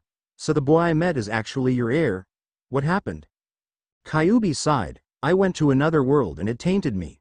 Fortunately, this boy's mother is from this world and so he was able to come here and that removed the taint from me, but the other parts of me are stuck in that evil world. Once this boy gets to the Isle of the Sea God, he will become the next guardian of the sea for I am sealed within him. The girl looked sadly at the fox. I am sorry to hear that. Eh, I have lived a long time. Kyuubi said with a shrug. Now, Leave the rest of this fight to my heir. Your body has taken much abuse in this fight, so please rest. Seras grimaced. I went berserker again, didn't I? The Kyuubi nodded. Yes and for a true vampire, that is not a good thing. So rest my friend. Seras nodded as they faded from her mind. XXX the two blinked for a second, until Seras noticed that Naruto's hand was still on her forehead. For some reason, they both blushed at their position, so she took his hand off, but before she could say anything, Naruto's ninja senses kicked in as he ed his head back as what looked like sharpened rubies flew past him. I don't know what you did, demon eyes, calm her down, the Commodore said before he smirked. Though, I have to say that I am honored to see those eyes up close, but I have to say that her red eyes were more menacing a few seconds ago. Naruto darted his eyes to the man and finally noticed his appearance. Johnson was in the normal high-ranking uniform, but his long coat was on his shoulders like that of higher-ranking Marines. He had an eye patch over his right eye and he had red hair that was set back to make him look menacing. So, you're Commodore Johnson. Yes, that would be me. The man said with a smirk. I can't believe my luck. I get to take in two enemies of the world government. Says you. Naruto said dangerously. Seras, please stay out of this. Right. The girl said while holding her left arm. I am kind of weak at the moment anyway. Nodding, Naruto turned back to Johnson. Well, let's see what you got. However, before they could start, they felt the ship being pulled into the maelstrom. Well, this makes thing interesting. I suppose it does. I guess our battle is under a time limit. No matter, no one has ever beaten me when I used the power of the Jewel Jewel fruit. Hey, looks like I'll be the first, Tisk, why brat. Jewel Jewel Ruby Shooter, Johnson called out as he held out his hand to shoot out a continuous barrage of sharpened rubies at the blonde. Naruto growled as he was kept on the defensive as he dodged the rubies that wouldn't stop. Naruto, this is an opponent that in your current state, you can't beat. I am giving you more power. Right, one tail. Naruto shouted as he was covered in a golden fox-like cloak. Smirking, he said, now I can use my hand power freely. That is an interesting form boy. But it won't save you. Johnson shouted. Jewel Jewel armor, Jewel Jewel sword and shield. Johnson's body was covered in diamonds and a ruby sword was formed while a sapphire shield was formed. You see now boy. My armor is made of diamond. No one can beat me in this form. TCH. We'll see about that you old man, Naruto growled out as he rushed the man to engage him in close combat, but that was futile because when he punched the diamond armor, he just hurt his hands. So he kicked the ruby sword out of the man's hand, making it shatter against the wall before he kicked the shield in half. Backflipping back to his original position, he grimaced. Those jewels were still hard, so that really hurt. Johnson noticed this and smirked. I am surprised that you managed to do that, but you are still dead. He held out both hands like we holding a big sword. Jewel Jewel broadsword. A giant blade made of onyx formed in his hands. When he charged the blonde, he fell on his ass because the ship hit the spot where the cannonballs hit the water, creating a smaller whirlpool in the giant one. That sent them deeper into the maelstrom. Growling at his misfortune, Johnson got back to his feet and rushed the blonde with his giant black sword. Naruto did a matrix as he dodged a horizontal swing before he sprung off his hand and kicked the man in the face, the only part of him that was not covered in diamond. Taking advantage of the man's obvious pain in the face, he created a rather large chakra hand and fed the man in the face, sending him barreling into his own cabin. Naruto smirked as he kept the hand active while also bringing out a sword of his own, Samehada. He smirked as the sword seemed to purr in his grasp as it ate some of his chakra. Just don't eat all of it, I needed to kick this guy's ass. The sword vibrated for a second, before the bandages were ripped off, revealing a very menacing sword. Uh, so I underestimated you. Doesn't matter, I will kill you, Johnson said as he walked out from his cabin and saw the rather large a creepy sword in the blonde's hand. Interesting sword, I'll be sure to take good care of it when you are dead, he said, with some of his hair covering his face. Somehow I doubt that. Samehada is very picky who wields her. You would use get your chakra sucked out and die. Naruto retorted. How dare you mock me? Johnson screamed as he rushed the blonde in a blind rage. Gotcha, Naruto thought as he locked blades with the man. He used chakra to amp up his muscles and overpower the man as he rested Samehada on the man's struggling shoulder. Oh there is something you should know about this sword. It doesn't cut. It shreds. Naruto shouted as brought the sword back and it scraped against the diamond at first but then it shredded that and screwed up the man's shoulder. The hell? Is that thing made out of sea stone? Johnson thought in shock as he held his bleeding shoulder. That shocked state was all Naruto needed as he brought his giant golden fist back before he uppercut the man and sent him high in the air. Naruto then made multiple golden hands appear out of the sail and mast of the ship and other various parts as they pounded Johnson much like how Lee battled Gaara. Then seemed to crack Johnson's armor in a few places and as he fell, the man noticed the blonde had created a large sphere of energy in his hand. Naruto smirked as he thrust the sphere at the man's chest as he fell toward him. Take this, Odama Rasengan.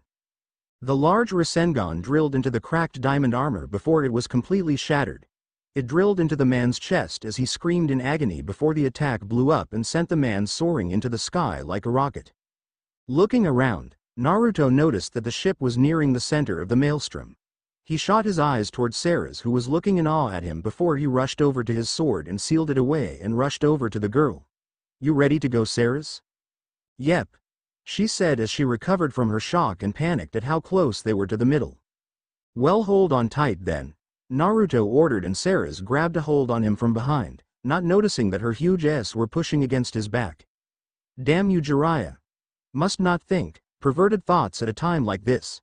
Wind style. Sonic shot.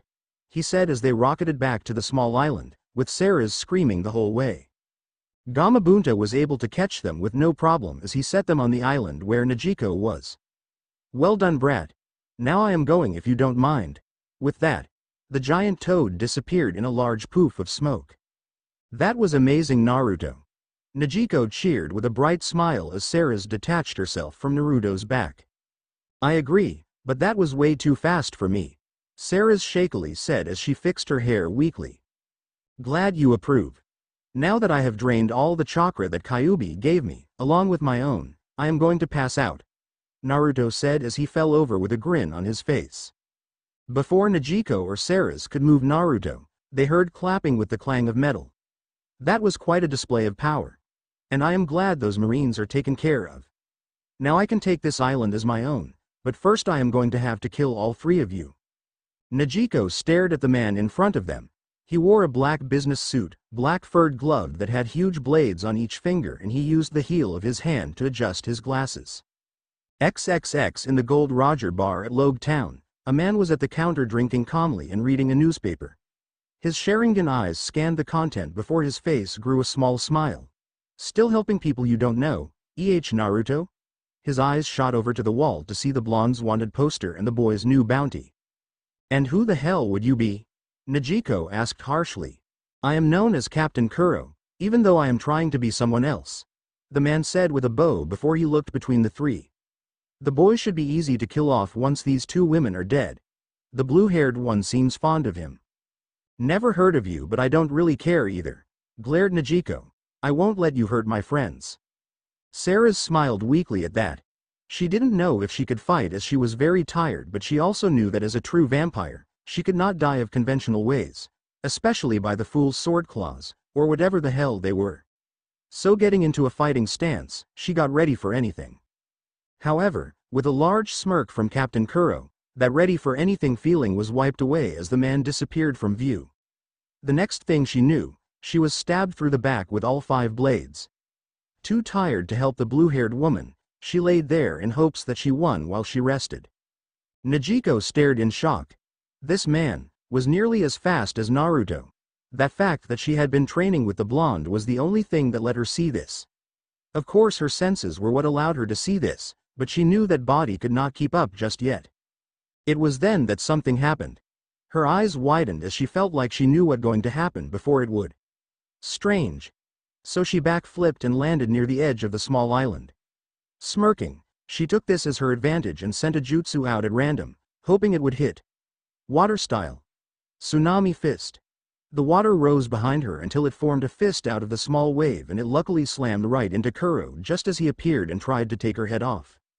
The attack slammed right into the man's stomach, knocking all the air out of him and stunning the man for a few seconds and that was all Nojiko needed as she performed a roundhouse kick, sending him skidding into the water. Coughing as he heaved himself out of the water, he glared hatefully at the blue-haired woman. How, how can you do these things? First you somehow dodge my attack and then you attack me with water of all things? Nojiko smirked, irking that man. I have no clue how I knew to dodge that attack, but the water attack was just a jutsu, not a devil fruit power like most would think. Jutsu? Yeah, a technique that uses the body's energy to form these strange attacks. Naruto-kun taught me, she said and wondering why she added the suffix. So that boy has a power that many cannot do eh? Kuro replied before a smirk appeared on his face, maybe I should capture him and force him to teach me these things. Nojiko's eyes widened before they took on dangerous tint, I won't let you. You may not have a choice. Two of your comrades are incapacitated and you are weakened from your part in that epic battle. But I wonder how it is possible for you to do these things. Kuro spoke before he rushed the girl again. As the blue-haired dodged the attacks as best she could, she thought back to her training. Flashback. Alright, now that we got your chakra working for you, I want to see what element you are aligned to. Naruto said as he rummaged through his coat for the item he needed. After the first week of training and with the town that Arlong destroyed, now repaired, he could now focus on training and getting the boat done. However, Nojiko said she wanted to train as well, so first he had to get her chakra working for her and he found it rather easy for some reason. Got it. Naruto cheered as he produced a small rectangular piece of paper. You have got to be kidding me. That paper can tell all that? Nojiko asked as she took the paper from the blonde. I don't understand. Well, I had the same reaction when I first did this.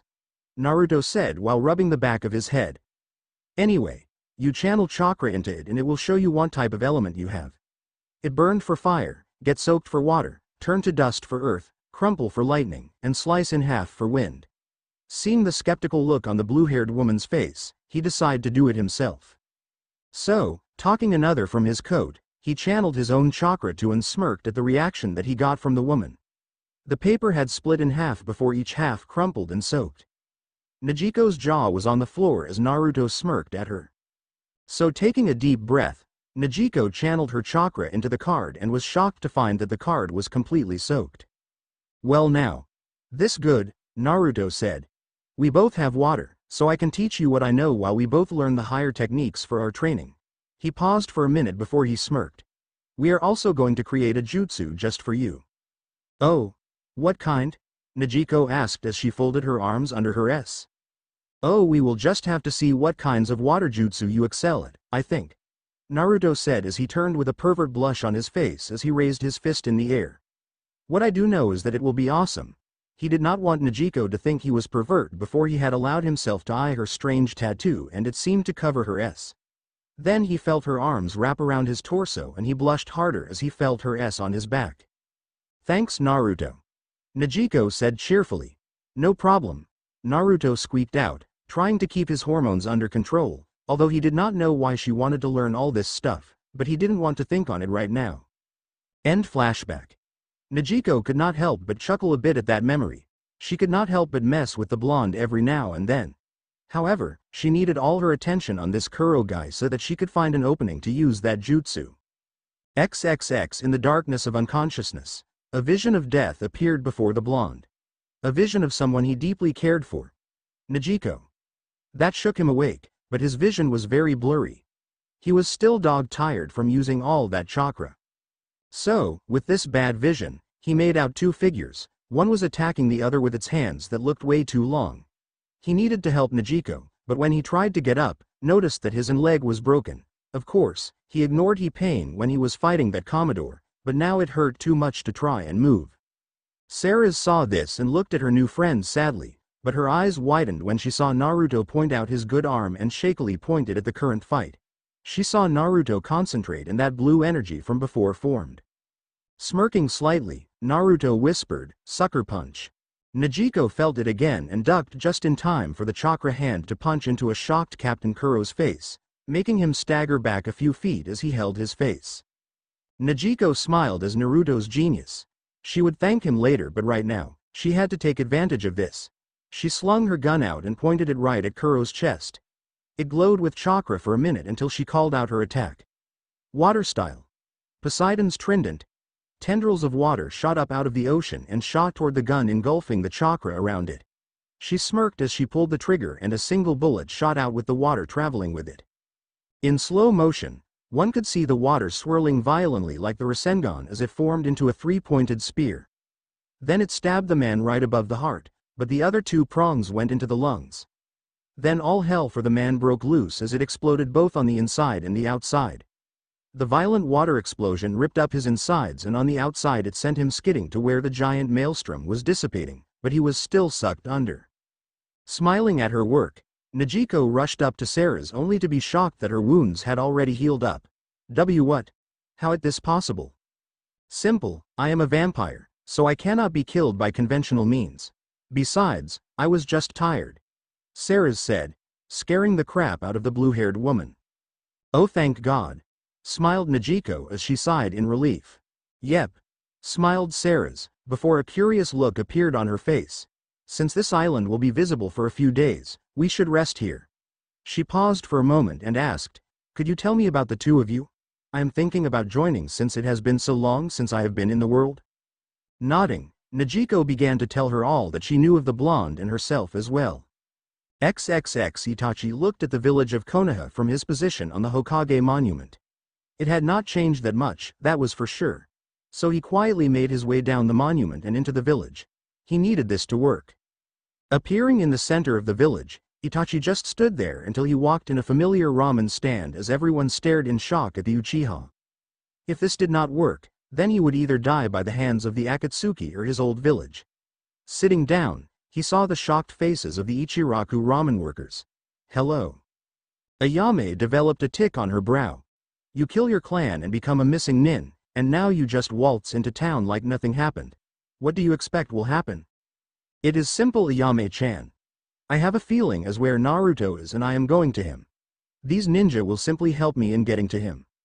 Ayame gained an enraged look on her face as she jumped over the counter and tackled the man. You are just trying to take Naruto back to the Akatsuki, aren't you? No, Itachi calmly said. Then what do you plan to do? A voice said from behind them. They looked and saw it was Kakashi with his usual lazy look, but no book. Kakashi-san. Itachi said as he got up. It has been a while. Kakashi said. So where is your partner? I thought Jiraiya told you he killed him, Itachi said calmly. He had not been feeling well. Stated Kakashi. Enough chit-chat. I really don't feel like fighting today, so I am finishing this in one move. He lifted the headband to reveal his new Sharingan. So, you have acquired it as well, Itachi said with a raised eyebrow. Yes said Kakashi, as his pinwheel-like Sharingan spun and Itachi noticed the air around him distort. He smirked as his own eyes changed as well. Kakashi noticed something new and he gawked at the Uchiha. You have that Sharingan? Yes and I must thank you for your help. Itachi said as he bowed and the distortion expanded and engulfed him. I take my leave. With that, he was gone. Leaving the confused shinobi and ramen waitress in his wake. As he traveled through the strange portal that leads to another world, he found himself in the middle of a new town, a town called Logue Town. Sometime later, he was seen in a bar called the Gold Roger. He looked from the paper he was reading to the poster on the wall and smirked. Still helping people you don't know, EH Naruto? Itachi calmly said as he looked at Naruto's bounty of 100 million belly.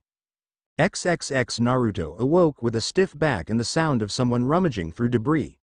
That is when it hit him, the attack on the Marines and then his half-awake sucker punch. He shot up and looked around.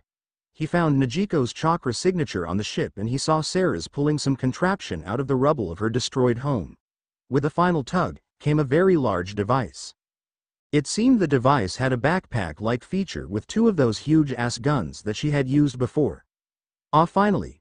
My Harkonnen 2 is safe. She cheered before felt like eyes were on her and she saw Naruto looking at her oddly. Smirking, she took in a deep breath and said, Nojiko, he is awake. The sound of scrambling was heard before he saw the blue-haired woman jump out the ship and land next to him. How are you feeling? A better than when I woke up before. How long was I out away way? Naruto asked. About two days. Nojiko said, making Naruto groan. Ah don't worry about it. You needed rest anyway. Nojiko said, trying to cheer up her captain. I guess so. Naruto said. I mean, I used a lot of chakra in those attacks. He paused as he got up and pounded his fist to his palm. In addition to weight training and sage mode training, I am going to have to learn more control over my chakra. Well that is good trying to improve yourself, but it can only do so much when there is only the two of you.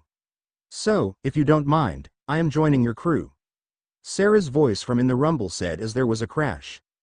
Rounding to see what happened, all he saw was the vampire girl and the metal briefcase she had in her hand. Wait, you want to join us? Yes. The girl said. I owe you that much for helping me. I also want to see the world and what it has become. Shrugging, Naruto said as he put his arms behind his back, well that is fine with me. Hey, I am just glad we have another person for our little gang. Good, but there are two things that you must know. Seras said as she opened the case to reveal two large handguns, one is silver and the other is black. These two guns belongs to the man that was like my father, in vampire terms anyway. Alucard told me to give these to someone who proved themselves worthy to me and I chose you. Naruto took the guns tenderly and then smiled. Thanks but, should I really be the one to have these? Yes. From what I saw during that battle you are more than ready to have those and it seems you want to get stronger, so these should help. Seras said with a smile. And the other thing you must know is something you have really no say in the matter. Nojiko as she put her hand on his shoulders. That bit didn't sit well with the blonde ninja as he tensed up at their smiles that seemed a little evil. What is it? Before he could react, both girl rushed up and kissed his cheeks, making him blush hard. W what was that about? He squeaked out. Well, while we were taking while you slept, the way Nojiko talked about you very fondly and I guessed right that she was in love with you. I too have gained a crush on you through the attack and, Seras said as she held her left arm. Pip would not want me to be alone for the rest of my life. Naruto looked at them in shock, but by the end of it all he thought he understood Seras' pain of being alone. Pip must have been someone she loved but then died. He smiled and sighed, but why me? You helped us more than it was needed and that kind of attitude is hard to find in the world. No one is more selfless that we know and that quality is very admirable. I just hope you won't mind the two of us, Nojiko said. Let's see, two very hot women, that are older than me, like me in a romantic way and they are both rather nice, even though one of them can go on a berserker vampiric rage. Still, I like it, Naruto thought. Hey, you do know I am younger, right? Naruto, you are basically as tall as this, so no one will bother with it, Nojiko said with a smile. Hey, alright then. And just so you know, I will love the both of you equally. I can't choose between the two of you. Naruto said with a blush as he rubbed the back of his head. I kind of figured that.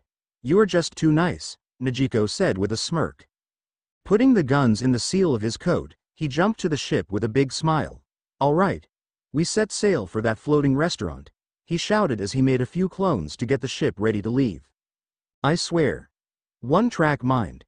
Nojiko said with a sigh before she eyed the clones and blushed as a trickle of blood came out of her nose. Looking to Seras, it she too had the same thoughts. The two women nodded before jumping onto the boat. As soon as they boat, detached from Bat Island, the island itself, seemed to just disappear, Seras explained that it didn't go underwater, just disappear into thin air. It was her home that she had lived on to stay away from people. She could see all from the island but no one could see what was right in front of them as they passed through it. Naruto shook his head. He could not believe that he got a new crew member but also two girlfriends. I swear, Jiraiya would love this and try to make a book out of this.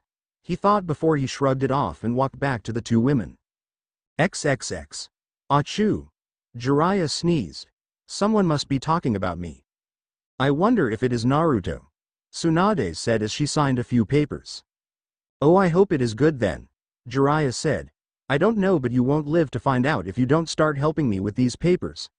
Tsunade growled as the man said he was going to help but kept finding excuses to not do it. XXX a few hours later, they arrived at the floating restaurant. Seras had told him that she needed blood to survive but could still eat normal food. So, she took some of his blood and it didn't even hurt. After that, he had thought up a great idea after hearing about Nojiko's battles. He had sent a clone to his cabin, along with their guns and it got to work on them.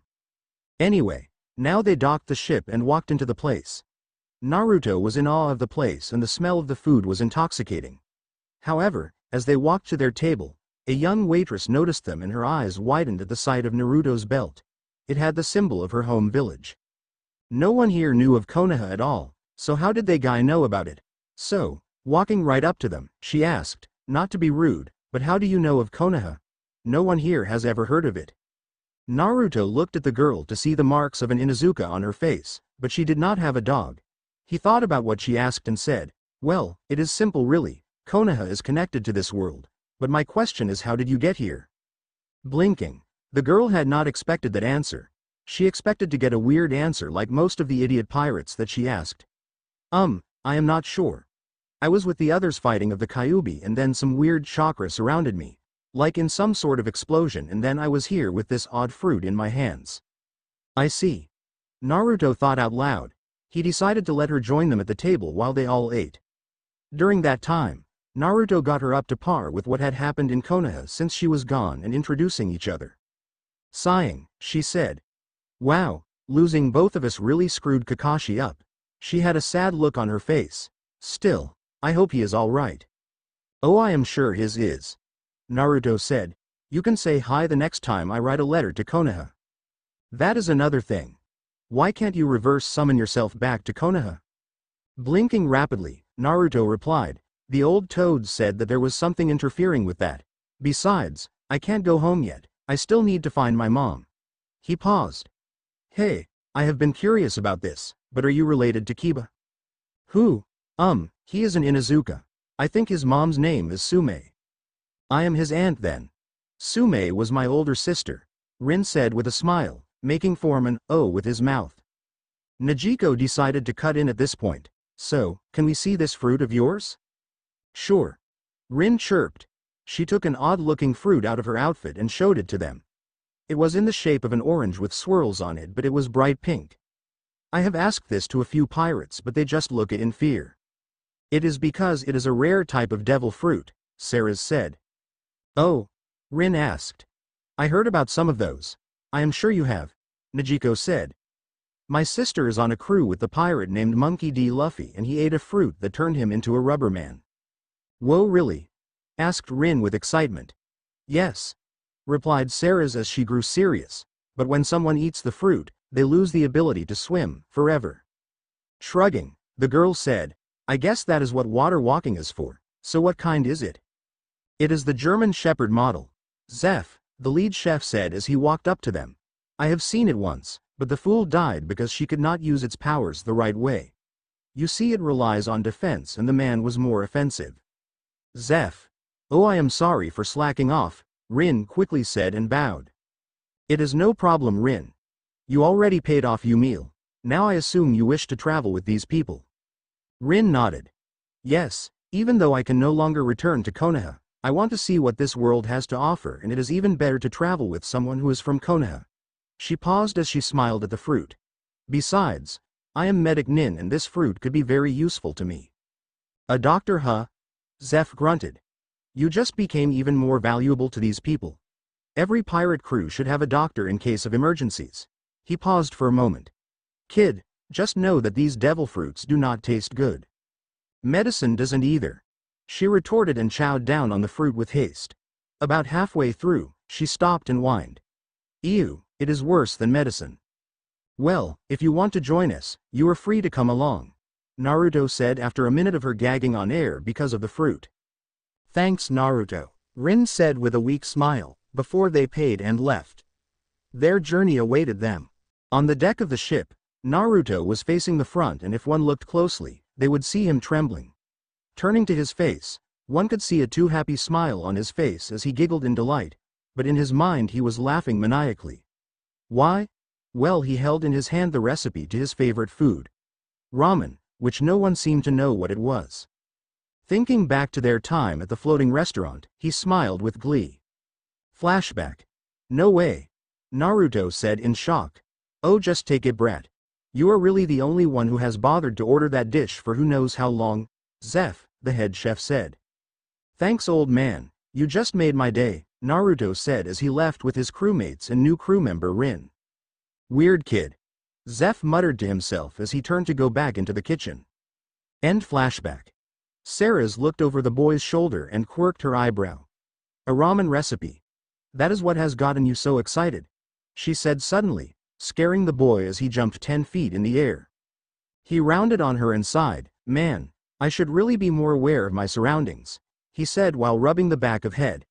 Anyway, yeah it is. Back home, ramen was pretty popular in Konoha. I see, I wonder why it didn't take off here, Seras said. Oh well, Everyone else's loss, chuckled Naruto. Now I just need to find a cook to make this wonderful stuff. Well, started Seras. You know that as a vampire, I drink blood to stay alive, but I have learned to cook over the years. I could do it for you. Really, sweet, cheered Naruto, making the blonde woman giggle at his antics. Right, so we have a cook who is a trigger-happy vampire, another gun specialist that uses water, a crazy ramen-loving captain, and me the medic of the group. Rin stated as she came up from below in her ninja attire. She wore a long-sleeved black top, a high-waist, light purple skirt apron under which she wore shorts. She also wore a forehead protector, sandals as well as what appeared to be dark stockings that stopped at her thighs. What a motley crew, but I guess that same could be said for my old team, she said with a warm laugh. Motley indeed. Nojiko said as she came down from the crow's nest before she turned to address her crazy captain. I know I should have said this before, but I heard at the restaurant that pirates usually name their ships. So Naruto-kun, what is the name of our ship? Naruto put on a thoughtful expression and said, I was thinking of naming it the Dream Seeker. Before any of the girls could question why, they heard the squawk of a bird. The same odd bird that delivered the paper to anyone on the seas that had money. Deciding to get one, Naruto's eyes widened at what he saw. Well, looks like we need to train a lot more now. He made a shadow clone before dispelling it. Another clone came up from below and handed him a few things. Training. What kind of training? asked Rin, for some reason fearful of it.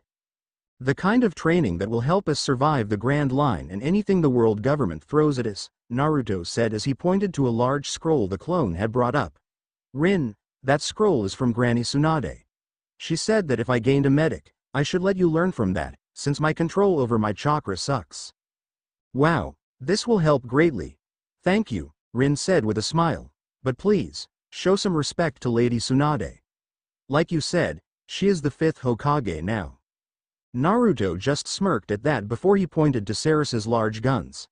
Seras-chan, I have applied seals to your guns that take in the surrounding energy in the air and converts it to pure lightning energy. You do seem like a lightning type to me. All you have to do is send your chakra or whatever energy you have into the gun and it will shot out lightning. Now that is awesome. Will I be learning any of those cool lightning jutsu you used? Seras asked with stars in her eyes. I could be I will also be helping you create your own jutsu like I did with Nojiko. Sweet. The blonde woman cheered. Naruto smiled at her enthusiasm before he turned to Nojiko. I have done the same with yours, only with water and I think if you train hard enough, you can make ice. Well, that certainly helps. Nojiko said before she noticed Naruto's new guns were in the pile. What did you do to your guns? Oh the same except with all three elements, water, lightning, and wind, cheered Naruto. Wait. Are you going to be training as well? asked Rin before she noticed the clone from earlier draw seals on the deck of the ship. Naruto cracked his knuckles as he smirked. Oh yeah, I get to get stronger as well. I have jutsu to master along with my swords and my new guns. Creating a few clones to do that, he himself summoned the Elder Toads. Ma, Pa, training has resumed. I need to learn how to use Sage Mode. Very well Naruto boy, just so you know, I have noticed that the closer we get this grand line, the stronger the nature chakra in the air becomes. Fukasaku said. Hum, then it should get easier for me, Naruto reasoned, not noticing the frog roll his eyes, as he got ready. Meanwhile, Rin and Seras looked on in shock. I can't believe he has the toads, Rin said. Yeah, he used Gamabunta to help me out a while back. I just don't understand how this will make him stronger, Seras said. I am not sure either, but I heard Lord Jiraiya became a sage because of that fact, Rin offered. XXX meanwhile other people were getting the paper as well. No way. Nami shouted, making the crew of the Going Merry crowd around her to see what was up this time. What is it Nami? Luffy asked. This Naruto is in the paper again, but there is a new bounty on him along with his two crew members, Nami said, handing the paper to them along with two wanted posters while she stared in shock at the third. Whoa! Luffy shouted as he looked at Naruto's with Sanji and Zoro. 150 million belly, what did he do?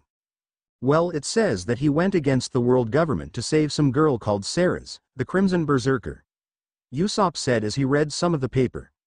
Apparently, They say she is a threat because she has lived for centuries and could reveal secrets that the world government doesn't want to get out. That and she is a vampire. Cool. Luffy cheered. I have a lot of respect for this guy. Saving a girl he doesn't know. Kinda of remains you of someone, huh? Sanji said to Zoro as they stared at Seras's poster. Sanji looked at it for a moment and said, Hey, take away the blood and angry look, you have the essence of beauty. Zoro sighed. Is that all you think about? No, food too, Sanji said. Whatever, Zoro said. Still, a 70 million belly bounty is pretty high. Chopper and Vivi were staring at Nami for she had a gobsmacked expression. What is the matter Nami? Chopper asked. Is it someone you know? asked Vivi. Silently, Nami nodded and turned the poster around. The picture was not a close-up like the others. It showed Nojiko on a giant toads with a Tonto. It is my sister. What? Really? Luffy said as he used his rubber to stretch up and take and look at the picture himself. Whoa, she is on a giant toad, he exclaimed as he took the poster to show the others. Ah, Nami's elder sister. Such beauty, Sanji said with hearts in his eyes. Chopper, in his muscular form peered over their shoulders and said, Wow, 22 million. He paused as he looked at her new nickname. Poseidon's daughter. Did she eat a devil fruit? I am not sure, but this Naruto better take good care of her, Nami said while crossing her arms. XXX Genzo stared in shock but he burst out laughing. Doc. Take a look at this. What is it? The doctor asked. It's Nojiko, Genzo said. Observing the poster, the doctor said, Well, she certainly knows how to make a picture like this epic. XXX somewhere in Alabasta.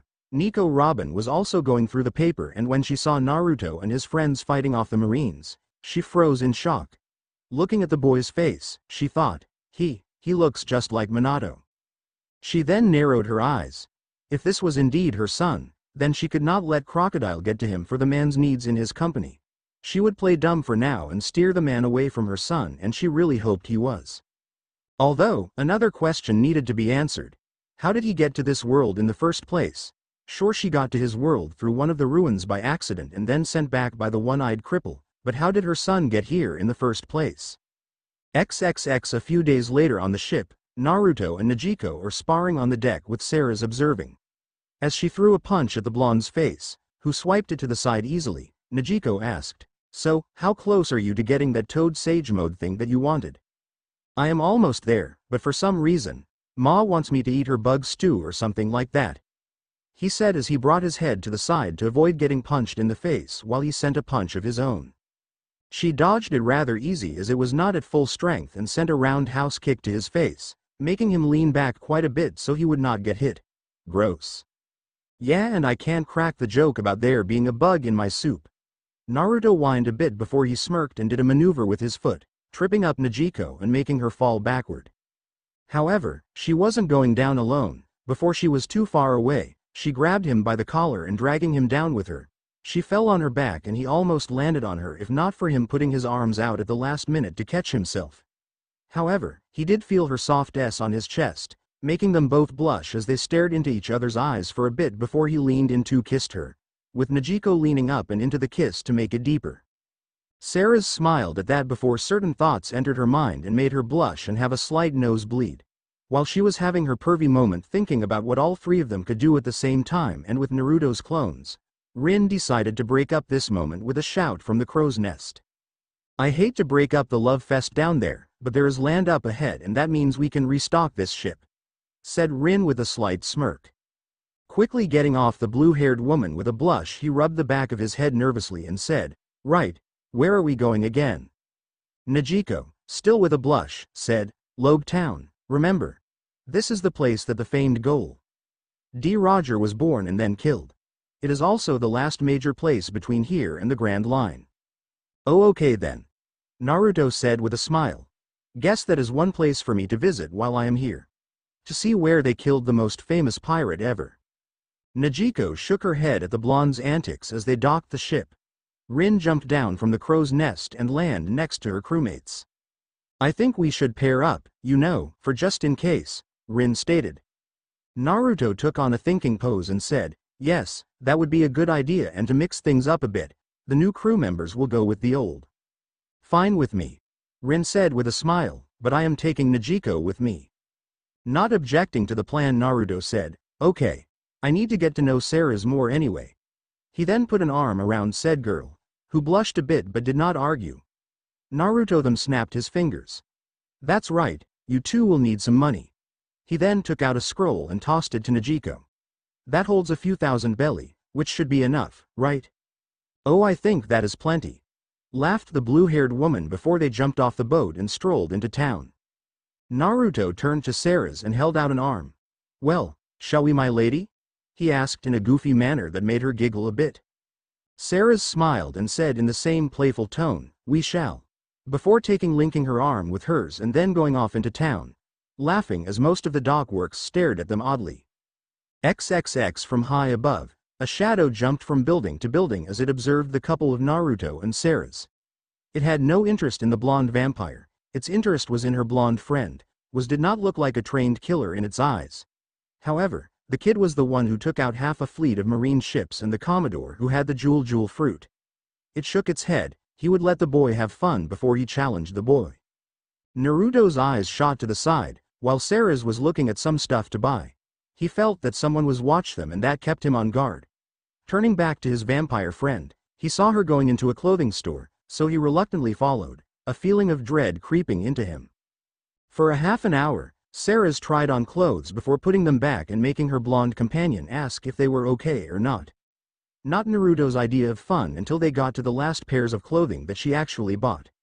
A slim red Chinese dress that showed off all of her curves, making Naruto have a small nosebleed because it squeezed her SA bit, making them more pronounced. She got this since she became a pirate on Naruto's crew and thought it would be a good distraction for her enemies. She also got it because the way Naruto looked at her, she had gotten to know the kid and although he could be dense in some things, he was a good guy at heart and she liked that in a guy. So in her opinion, she chose well and was glad that she came with them. Hey Naruto, you think you can draw the Cromwell seals on the back of this? She asked with a smile. Naruto nodded, unable to speak at the moment, which made her giggle a bit. Soon after that, they came upon an ice cream shop and ordered some gelato. Even, though Seras drank blood to stay alive, she could still enjoy normal food, so she got strawberry while Naruto got some chocolate with hazelnuts in it. After that, they walked to a nearby park, holding hands until they neared a bench and sat down. A few minutes later, after Naruto was quiet for a little bit, he said, Thanks again, you know, for joining us. Seras smiled at that. It is no problem Naruto-kun. I am glad I did. I like you because you are a caring person. That is a good quality in someone and for pirate, that is rare. And this way, I can see more of the world and how it has changed. She leaned over and kissed him on the cheek, before he turned his own head to kiss her on the lips, however, that moment didn't last very long. Hey! Demon eyes! A voice rung out and the owner appears a few yards away from them. Naruto quirked an eyebrow, you had to show yourself now? XXX Nojiko and Rin were doing some shopping of their own, with Rin getting a few medical supplies and Nojiko. Ammo, when someone called out to them. The blue-haired woman raised an eyebrow at the very feminine-looking guy walking right up to them. He had long black hair, a weird green battle dress with a mask on his hip and shinobi sandals. The only reason they could think of that they knew he was a guy was that he had no bust. Excuse me, I know this may sound odd, but I saw your headband and I have to know, are you from Konoha? The feminine-looking guy asked. Rin blinked several times before saying, why yes I am, how did you know? Because I have fought some before, one in particular. His name is Naruto Uzumaki, do you know him? The two girls blinked in shock. Yeah we know him, he is our captain, Nojiko said. Oh good. Please take me to him, I need to ask him how I got to this strange world because I should be dead after his sensei, Kakashi, killed me with his Chidori. Rin's jaw dropped. Kakashi killed you? Then you must Haku, the one that Naruto sometimes talks about, the one who told him the true meaning of strength. Flashback. Man. Tsunade-sama really has extensive knowledge on all things medical. Rin said with amazement, though for some reason, she was also very interested in the secret to insane strength. Hey, that is true, heck I guess she had to. I mean she did save my life a few times. Naruto said, reminding the girl the story he told her about his first fight fighting with her against Kabuto and Orochimaru. Hey, I have been meaning to ask you this, but how are you so strong? Rin asked, with Seras and Nojiko coming over to listen as well. Naruto put on a serious look as he mentioned the girls to sit down on the deck. It is simple really. You remember me tell you about Team 7's mission to Wave Country, right? Well yeah, it was the first story you told me, said it was a big impact on your life, Nojiko said. Yeah well, even though Kakashi killed Haku, that guy really taught me something a few days before the fight. He paused there before saying, he told me the true meaning of strength. Do not fight for yourself like my Jinchuriki brother Gaara. Fight for others, fight to protect those precious to you and you will know what true strength is. Nojiko snapped her fingers at that. So that is how you became so strong when you fought Arlong. You were fighting for me and the rest of Kokoyashi. Bingo. Naruto said with a thumbs up. I will keep that in mind then. Rin said with Seras nodding in agreement. Oh and there is one more thing and it ties in perfectly. Naruto said as he got their attention again. I got this from Kakashi, though I don't really know how it would work in this world of pirates. Those who don't follow the rules are trash, but those who don't help their comrades are worse than trash. It seemed that they took those words to heart, end flashback. Haku smiled brightly at that, and that made Rin blush for some reason. I am glad he took those words to heart. Now, shall we be going? He asked before they felt intense chakra in the distance. Nojiko sighed, someone must have pissed him off, he said before they ran off to see what was up. Across the street, a very hot woman raised an eyebrow. Well, seems we have another upstart and his crew here in Loguetown. The infamous demon eyes Naruto, Poseidon's daughter Nojiko, and Crimson Berserker Seras. Let's see if they are truly what the paper says. The woman said as she hefted her huge spiked iron club. Buggy has been complaining about being bored. Annoying crown. XXX above the streets, the figure of Itachi felt a familiar chakra presence and smiled. Well, it is about time Naruto-kun. Naruto quirked an eyebrow, you had to show yourself now? Hey, so I ruined a moment. Bugging wop. The voice said as it came out of the shadows. The person revealed had long spiky red hair with black tips and sharp orange eyes. He had on a black short-sleeved shirt with sea stone chain mesh over that, blue jeans with the same mesh on it, and combat boots. To top that off, he had a strange rod on his hip that had a cylindrical arrow on it. You know, if you are trying to make friends, you are failing epically. Naruto deadpanned. Hey, friends. The guy said to himself with a mirthless laugh before he looked straight at Naruto and smirked. He seemed to disappear while saying something under his breath and then reappear right in front of the shocked blonde to deliver a punch straight to his face, sending him back a yard or two as he fell on the ground. What the hell? He had ninja speed. Getting back up, Naruto looked to see the guy just staring at him in shock while holding his fist.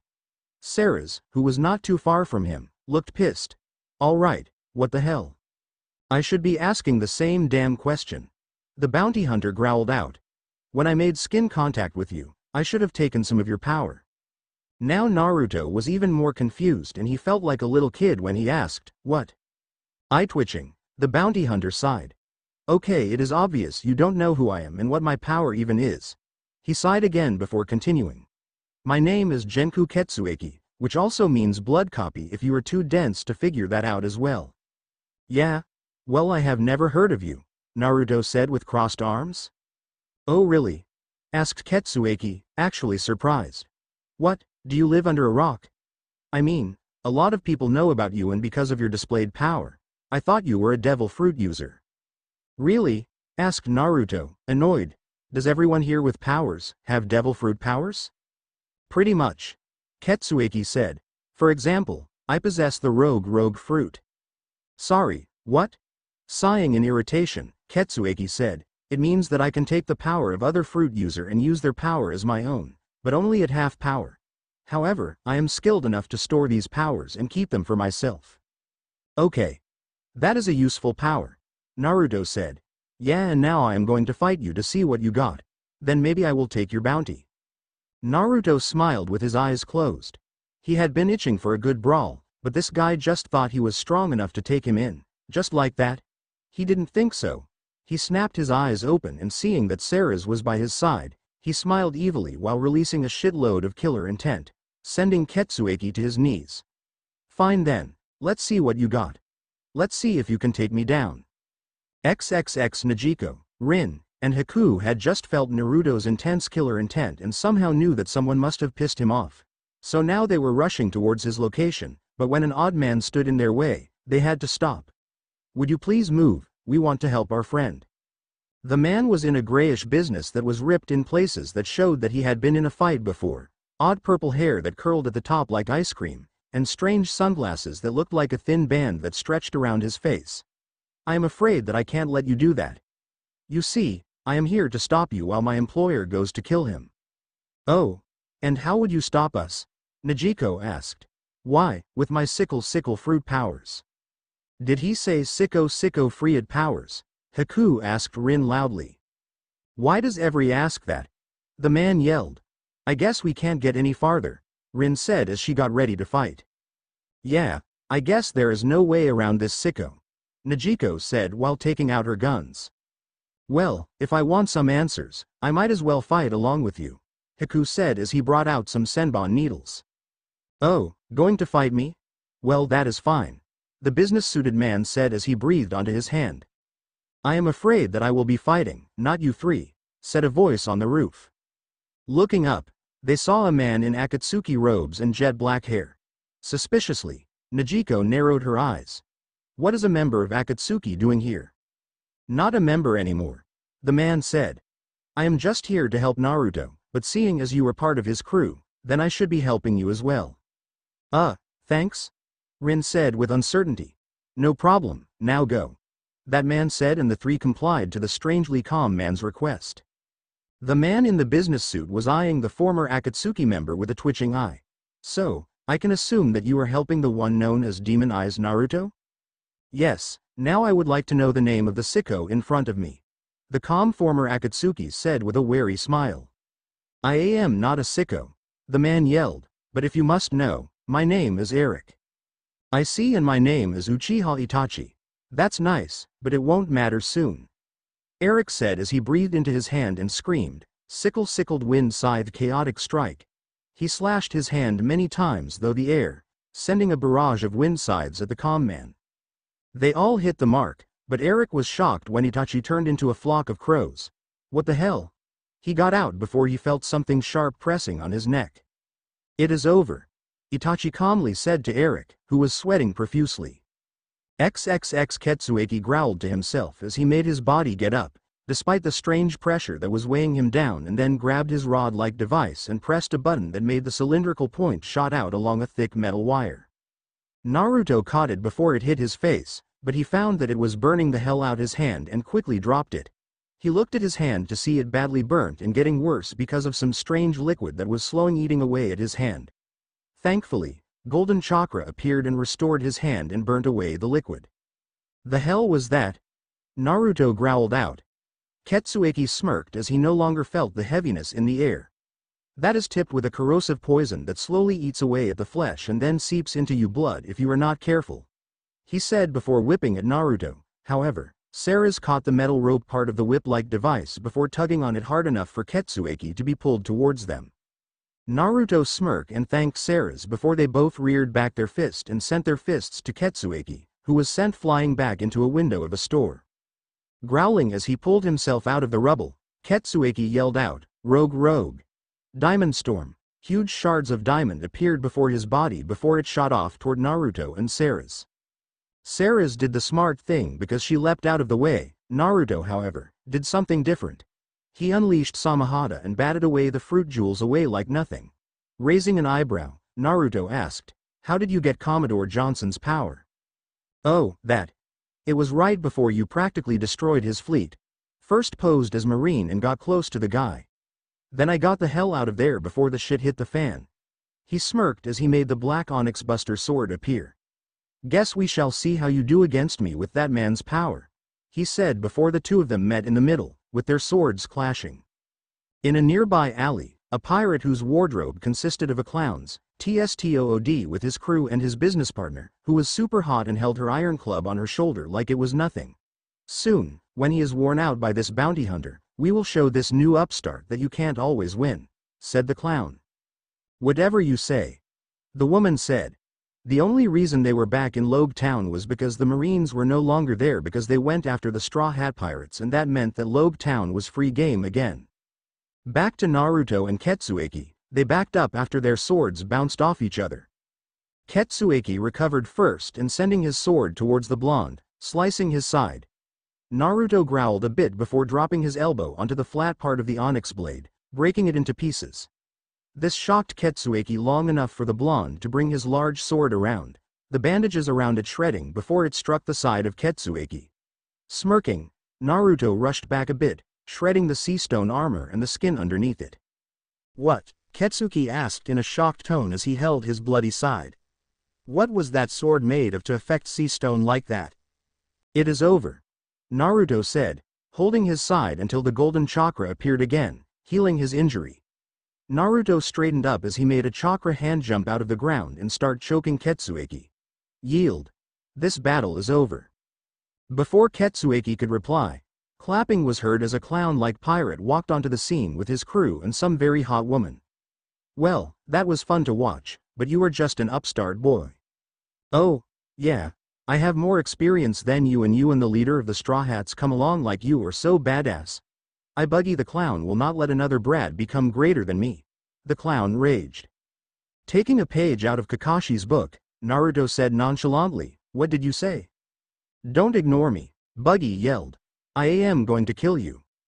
Now if we have any say about that, Nojiko's voice echoed in the square as she made his appearance along with Rin and Haku. Whoa, Haku, you are here too? Naruto said, completely distracted now. I guess so, but it is odd how I am still alive and in this world as well. EH. Well, I guess I have to chalk it up to how I entered this world, but right now, we have to fight Clownface and his friends. I am still here you know. Buggy growled before he turned his angry gaze to the new arrivals. And what are you doing here? I sent Eric to kill all of you. Oh, someone in an Akatsuki cloak appeared and took care of him for us, Rin stated. Naruto only knew one Akatsuki who would come all the way here to talk with him or fight him would be Itachi. I guess so, but let's worry about that later, Nojiko stated. Right. Naruto said before turning to Ketsueki and said, Wanna fight with us? I guess I have no other choice. Ketsueki sighed. Still, that blade really hurt. He then turned to the two new pirates and said, so, Buggy the Clown and Iron Club Alvida. I can only assume that this Eric you were talking about was Eric the bounty hunter that lost to the Straw Hat crew, but survived somehow when he was sent to the ocean. Yeah but if Itachi is fighting him, he won't last much longer, Naruto replied. Okay then. Ketsueki said. I'll take his crew while you and your friends deal with the main fools. He then went into the huge crew of clown pirates with his strange whip lashing out. Right, Naruto cheered as he went after Buggy. Sighing, Nojiko smiled at her captain's battle plan, or their lack of. So she and Seras went after Alvida. Rin and Haku were the only ones left, but before they could help either party, they were confronted by two odd-looking people. One had a white teddy bear hairdo, a white patch of fur over his shoulders, blue pants, and a yellow sash. The other had black hair that covered half of his face, a dark blue trench coat with the sleeves ripped off, a blue and white checkered scarf, a sword at his side, and a blue jeans. Then there was a huge lion with a purple mane. Okay, this world is getting odder by the second, Haku stated. Yeah, was Rin's reply. I'll take the girl with the marks on her cheek. The white-haired man, Moji said. And I will take the girl in the green clothing, the swordsman, Kabaji said. Actually, Haku began with a smile, I am a boy. Both men stared in pure shock, before Kabaji leapt at him, with Haku leaping back easily, dodging the sword strike. Moji looked his lion friend and said, Okay, Richie, it is mealtime. He and the lion leapt at Rin, only to crash into a trash can. Rin was on the other side of them, waving merrily. My turn. She said with an evil smirk as her body begun to change into that of her dog form. Mut mut fur growth, the fur all over her body grew to long lengths and then hardened. When the lion tried to claw at her, it just wore down the claws. Mut mut pin cushion. The fur expanded until it looked like a ball with the girl inside. Moji and Richie stared in horror as the spiky hairball came rolling toward them and when the spikes hit the ground, the ground cracked and broke. Ran away. Moji screamed with tears in his eyes as the ball came after them, Richie right along with him. XXX out of the corner of his eyes, Naruto saw Rin trying to roll over Moji and Richie while Haku was fighting Kabaji with his ice mirrors, turning the swordsman into a pincushion. Turning back to Buggy, he was getting annoyed that this guy was splitting himself apart to attack Naruto. Of course, Naruto dodged them with ease, it was just annoying. With another kick and punch from the clown, he punched the leg away and took the arm to slap Buggy with his own hand. I could do this all day man. But even with those annoying powers of yours, I can see how a rubber man could kick your ass. Oh really? We will see about that. Buggy screamed and charged the blonde ninja with all his body parts armed with some sort of weapon. Oh please. Naruto deadpanned as he switched places with a log at the very last second. He then punted Buggy's head into a wall, but the clown was relentless as he just got back up. Don't you ever quit? Buggy just roared before charging at the blonde after he had reformed himself. Naruto sighed at the clown's stupidity, but the clown never gave up and Naruto gained some respect for him thanks to that. You asked for this yourself. He said as he went through a few hand signs. Lightning style. Thunderclap. XXX. Nojiko and Seras were literally trying to put holes in Alvida, but their bullets just slid past the good-looking woman. Why do you keep shooting at me when you see that they just bounce of me? Alvida said boredly. We were just experimenting. Seras said with a smirk as Nojiko looked at her with a smirk. They knew they thought alike and now it was time to take this chick down. Yeah, let's see you take our elemental attacks, Nojiko stated. What? Alvida asked with her eyebrows raised. Nojiko smirked as she pointed her gun directly at Alvida and called out, Poseidon's ripping torrent. The gun slowly started to gather water from the air around them until it actually looked like a gun made of water. Then he CED the trigger, sending all that water toward Alvida. It hit and sent her back a bit, but most of the water slipped past her. However, the attack did what was need because Alvida was completely wet and her surrounds were wet as well. Seras noticed it was her turn and thanks to Naruto's lightning just that she just noticed, it was easier for her gather the necessary electricity in the air around her Harkonnen before she smirked evilly at Alvida, who had a terrified look on her own face, she called out, Zeus Rain. While Seras's attack came out in a barrage of lightning, striking the water first before the woman, Naruto's attack had darkened the sky before a large bolt of lightning, not that high in power, struck down on Buggy, but since he was near Naruto, the blonde caught some of it as the reaction of it on the ground sent him crashing into a nearby building. After all was said and done, Buggy and Alvida were in smoking craters that cackled with electricity every once in a while, but the two were still alive and well, just knocked out, Moji and Richie surrendered just before they were impaled by the hard spikes made of dog fur and Kabaji was on the ground, with ice needles in his neck and put into a death-like state thanks to Haku. To top that off, most of Buggy's crew was unconscious thanks to Ketsueki. Ketsueki walked over to Naruto as he pulled himself out of the rumble and said, now that was quite an attack. Yeah well, I didn't put much power into it, so the clown is not dead, just knocked out. Naruto said with a shrug. Ketsueki stared at the blonde for saw a long time before he burst out laughing. You know what demon eyes, I will let you go for now. It is clear that I am not strong enough to fight you at the moment, but know this. I will beat you one day. Count on it. Is that a challenge? Naruto said with a raised eyebrow, his crew crowding behind him. You know it, Ketsueki stated with a smirk. I want to be one of the strongest people on the Grand Line, that is one reason I became a bounty hunter. Now you will help me become stronger than any fool on the Grand Line. We will see about that Ketsueki. I have all the time in the world, let's hope you do too. Naruto smirked before he turned and begun to leave. Wait, demon eyes. It is Naruto. Whatever, just take this. You will need it on the Grand Line. Ketsueki said as he produced his watch-like device. A log pose? Where did you get that? Nojiko asked. I picked it off some dead wannabe pirates. Don't worry, I have my own. Ketsueki said, and to help you, it is already set to Whiskey Peak for you. Ah, thanks, Naruto said as he took the log pose and gave it to Nojiko with a smile. He then turned back to Ketsueki, only to find that he was already gone, but there was a note in his place. Picking it up, it said, I already know your question, regular compasses don't worry on the Grand Line because that place has its own magnetic field. Good luck and don't die, demon eyes. Sighing, the blonde turned to Haku and asked, Haku, would you like to join us? Yes, I would since you are the only familiar thing in this very strange world. While we are on the sea, I want you to tell me what has happened in your theory as to how I got here. Cool with me, but do you want some new clothes?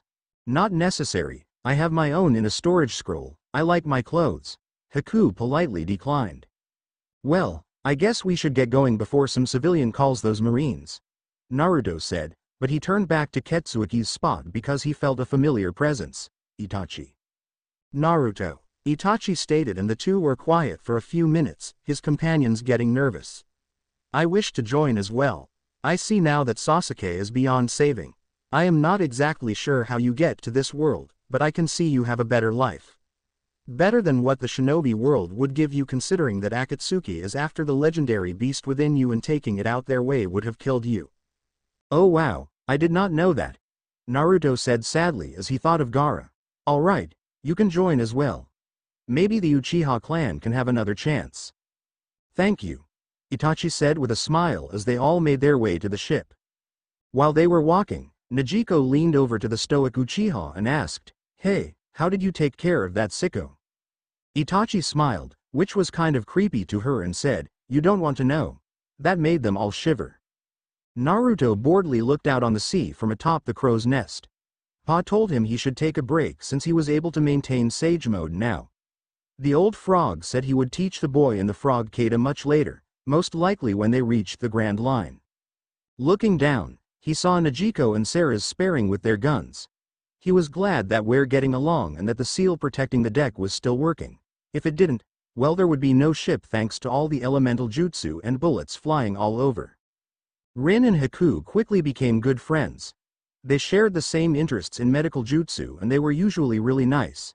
However, Haku did say the Mut Mut fruit user could be very scary at certain times. Itachi, Dot was hard to figure out. He didn't understand much about the Uchiha other than he kept to himself. He was very helpful and he provided a lot of useful advice, but he could not shake the feeling that Itachi was here for another reason. That or he was thinking too much, after all, all Uchiha were odd in his opinion. Looking back to the sea, he saw a large mountain in the distance. Hey, I think that is Reverse Mountain, he shouted. Itachi, who was meditating, opened his eyes to see what his blonde captain saw and it was indeed a large mountain. The people in the Logue town were right about it. Let's just hope they were right when it came to how it was supposed to work. Nojiko wiped her brow as she and Seras stared out at the large mountain in awe. Haku summed it up for everyone, you sure we are supposed to go up? Yeah, that what the stories say. Naruto said as he jumped down next to him, but I am not sure how it works and I pretty much gave up trying to understand how places like this exist. It matters not. Itachi said with his Sharingan activated, but I suggest we move a ship a bit because we will crash. How much? Nojiko asked and Itachi and her worked together to steer the ship in a straight line. Naruto, not really getting it, finally did as they came upon an archway and the water went up the mountain. Wow. Was all he said as their ship squeezed through the archway and shot like a rocket up the mountain. This is awesome. Naruto shouted as he took his place at the front of the ship, letting the water spray against his skin. As soon as they reached the peak, their ship flew down the waterway at high speeds. That is when Naruto saw. Holy crap, giant whale. Laboon, the giant whale, seemed to just stare up the mountain. It didn't even seem that it was looking at them. Not good, Seras screamed. However, she and Itachi noticed something. As Naruto began to panic and run around the ship like a chicken with its head cut off, his hands were rapidly waving in the air. They saw little sparks of energy flowing off his fingertips. What the heck? Seems his panicking is actually helping us. Itachi calmly replied as he pointed the area surrounding Laboon. The water was swelling with many small whirlpools. Nojiko panicked at first but could not help the chuckle that escaped her. Sure she could stop her blonde captain, but that would also screw them and she wanted to survive. Hell, she highly doubted that Naruto knew what he was doing, so he probably didn't know how to do that while calm. Rin smirked when she saw it. You know Haku, our captain is kind of an idiot, but he makes this all fun to watch. Haku just chuckled. As soon as they reached the swirling waters, the ship did a few quick 360s and ended up on the other side of the giant whale. Ah, uh, okay that I could have done without. Rin said with swirly eyes. I agree. Seras said as she walked around all dizzy like.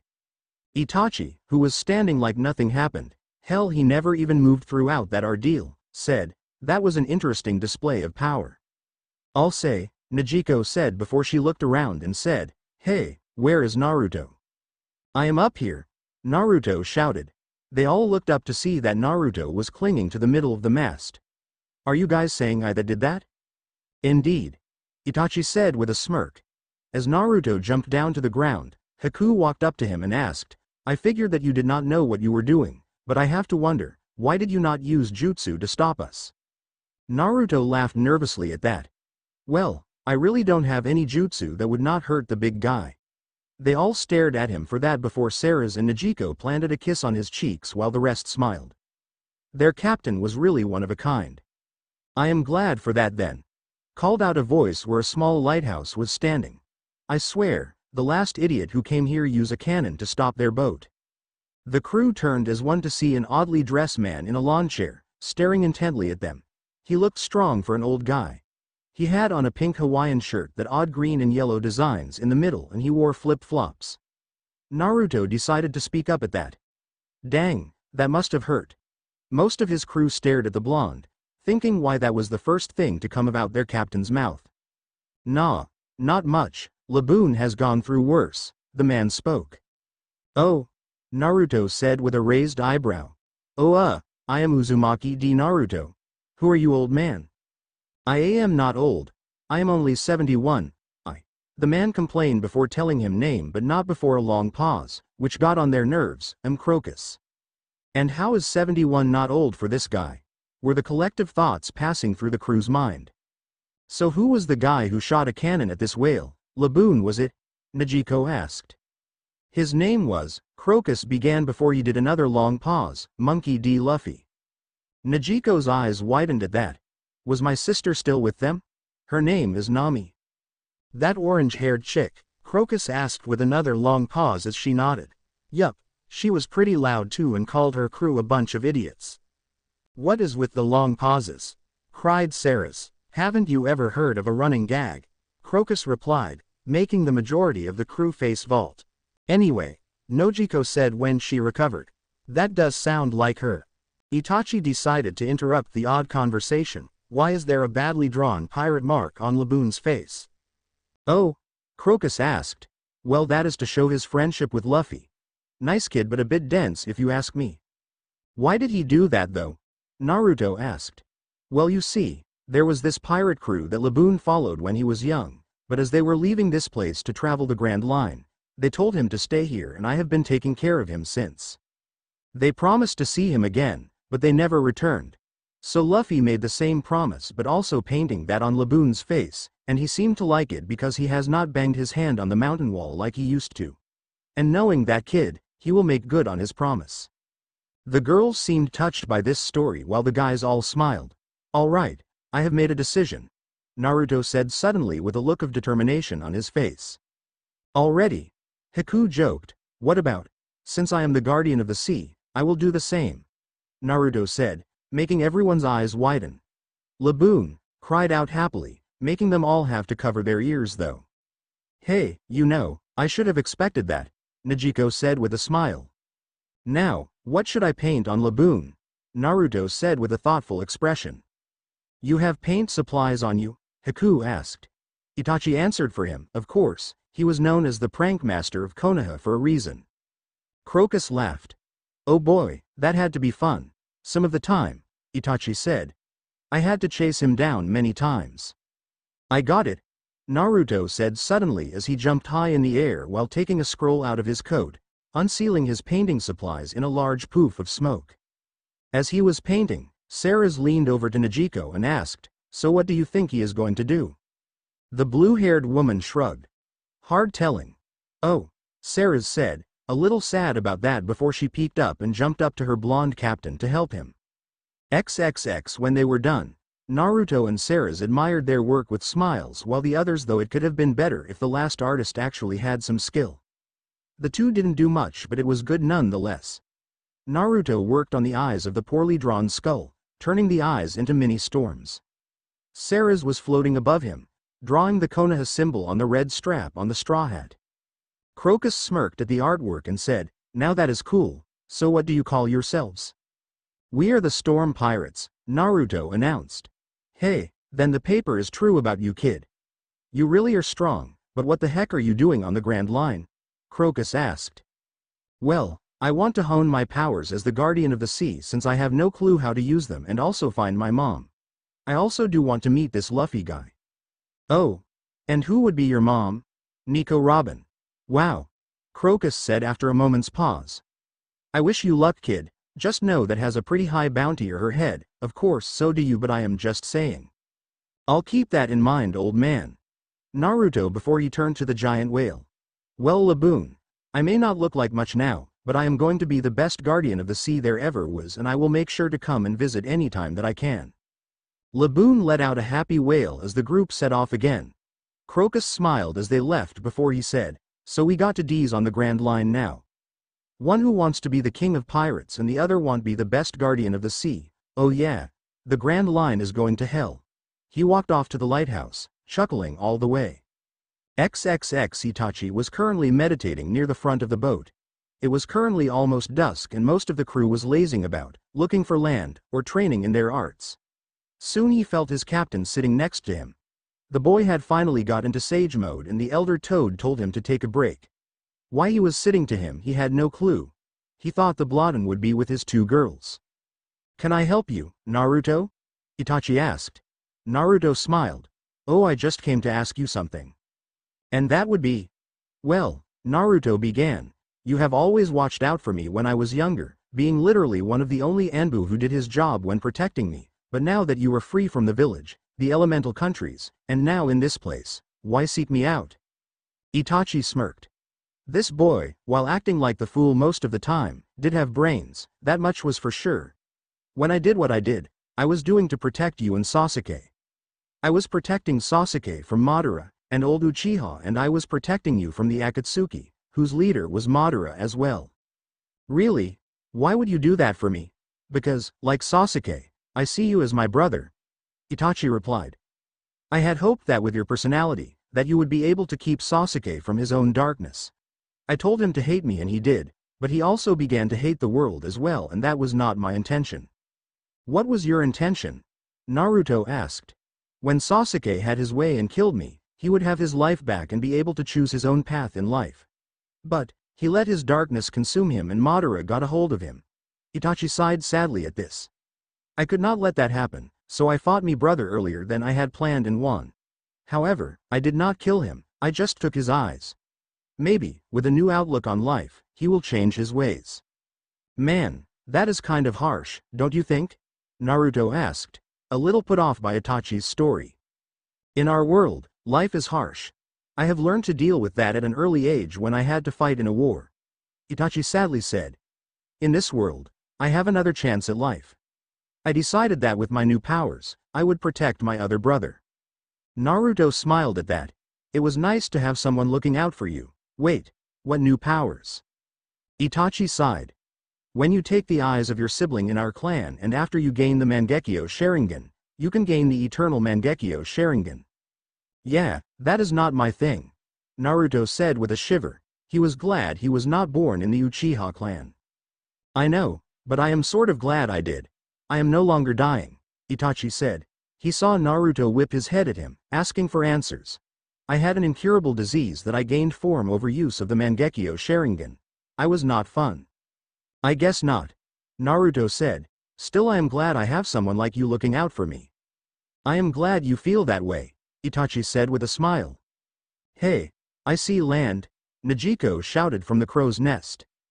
Naruto got up to see that there was a large island in the distance, but something was off about it. It had large dark clouds hanging over it and had many dead-looking trees like you see in horror movies. Um, like looks like a good place to stop. Naruto said sarcastically. Yeah well, we have to rest here while the log pose resets. Nojiko said as she came down. I am getting a sense of deja vu when I see this place, Seras said with an eerie expression. As soon as they landed, they were met with an older gentleman that could have been mistaken in Walter from Seras's past. Hello. The man said with a bow. I am Charles and I welcome you to Damned Isle. Oh yeah, this should be interesting. Naruto said with a deadpanned expression. XXX, Master, some pirates have finally arrived at our island. Said the voice of a creepy hunchback man. Charles is fetching them as we speak. Good. A voice said in the darkness as he read eyes opened and the outline like his creepy smile appeared. Let's the harvest begin. The end. Now we will see you in the next video.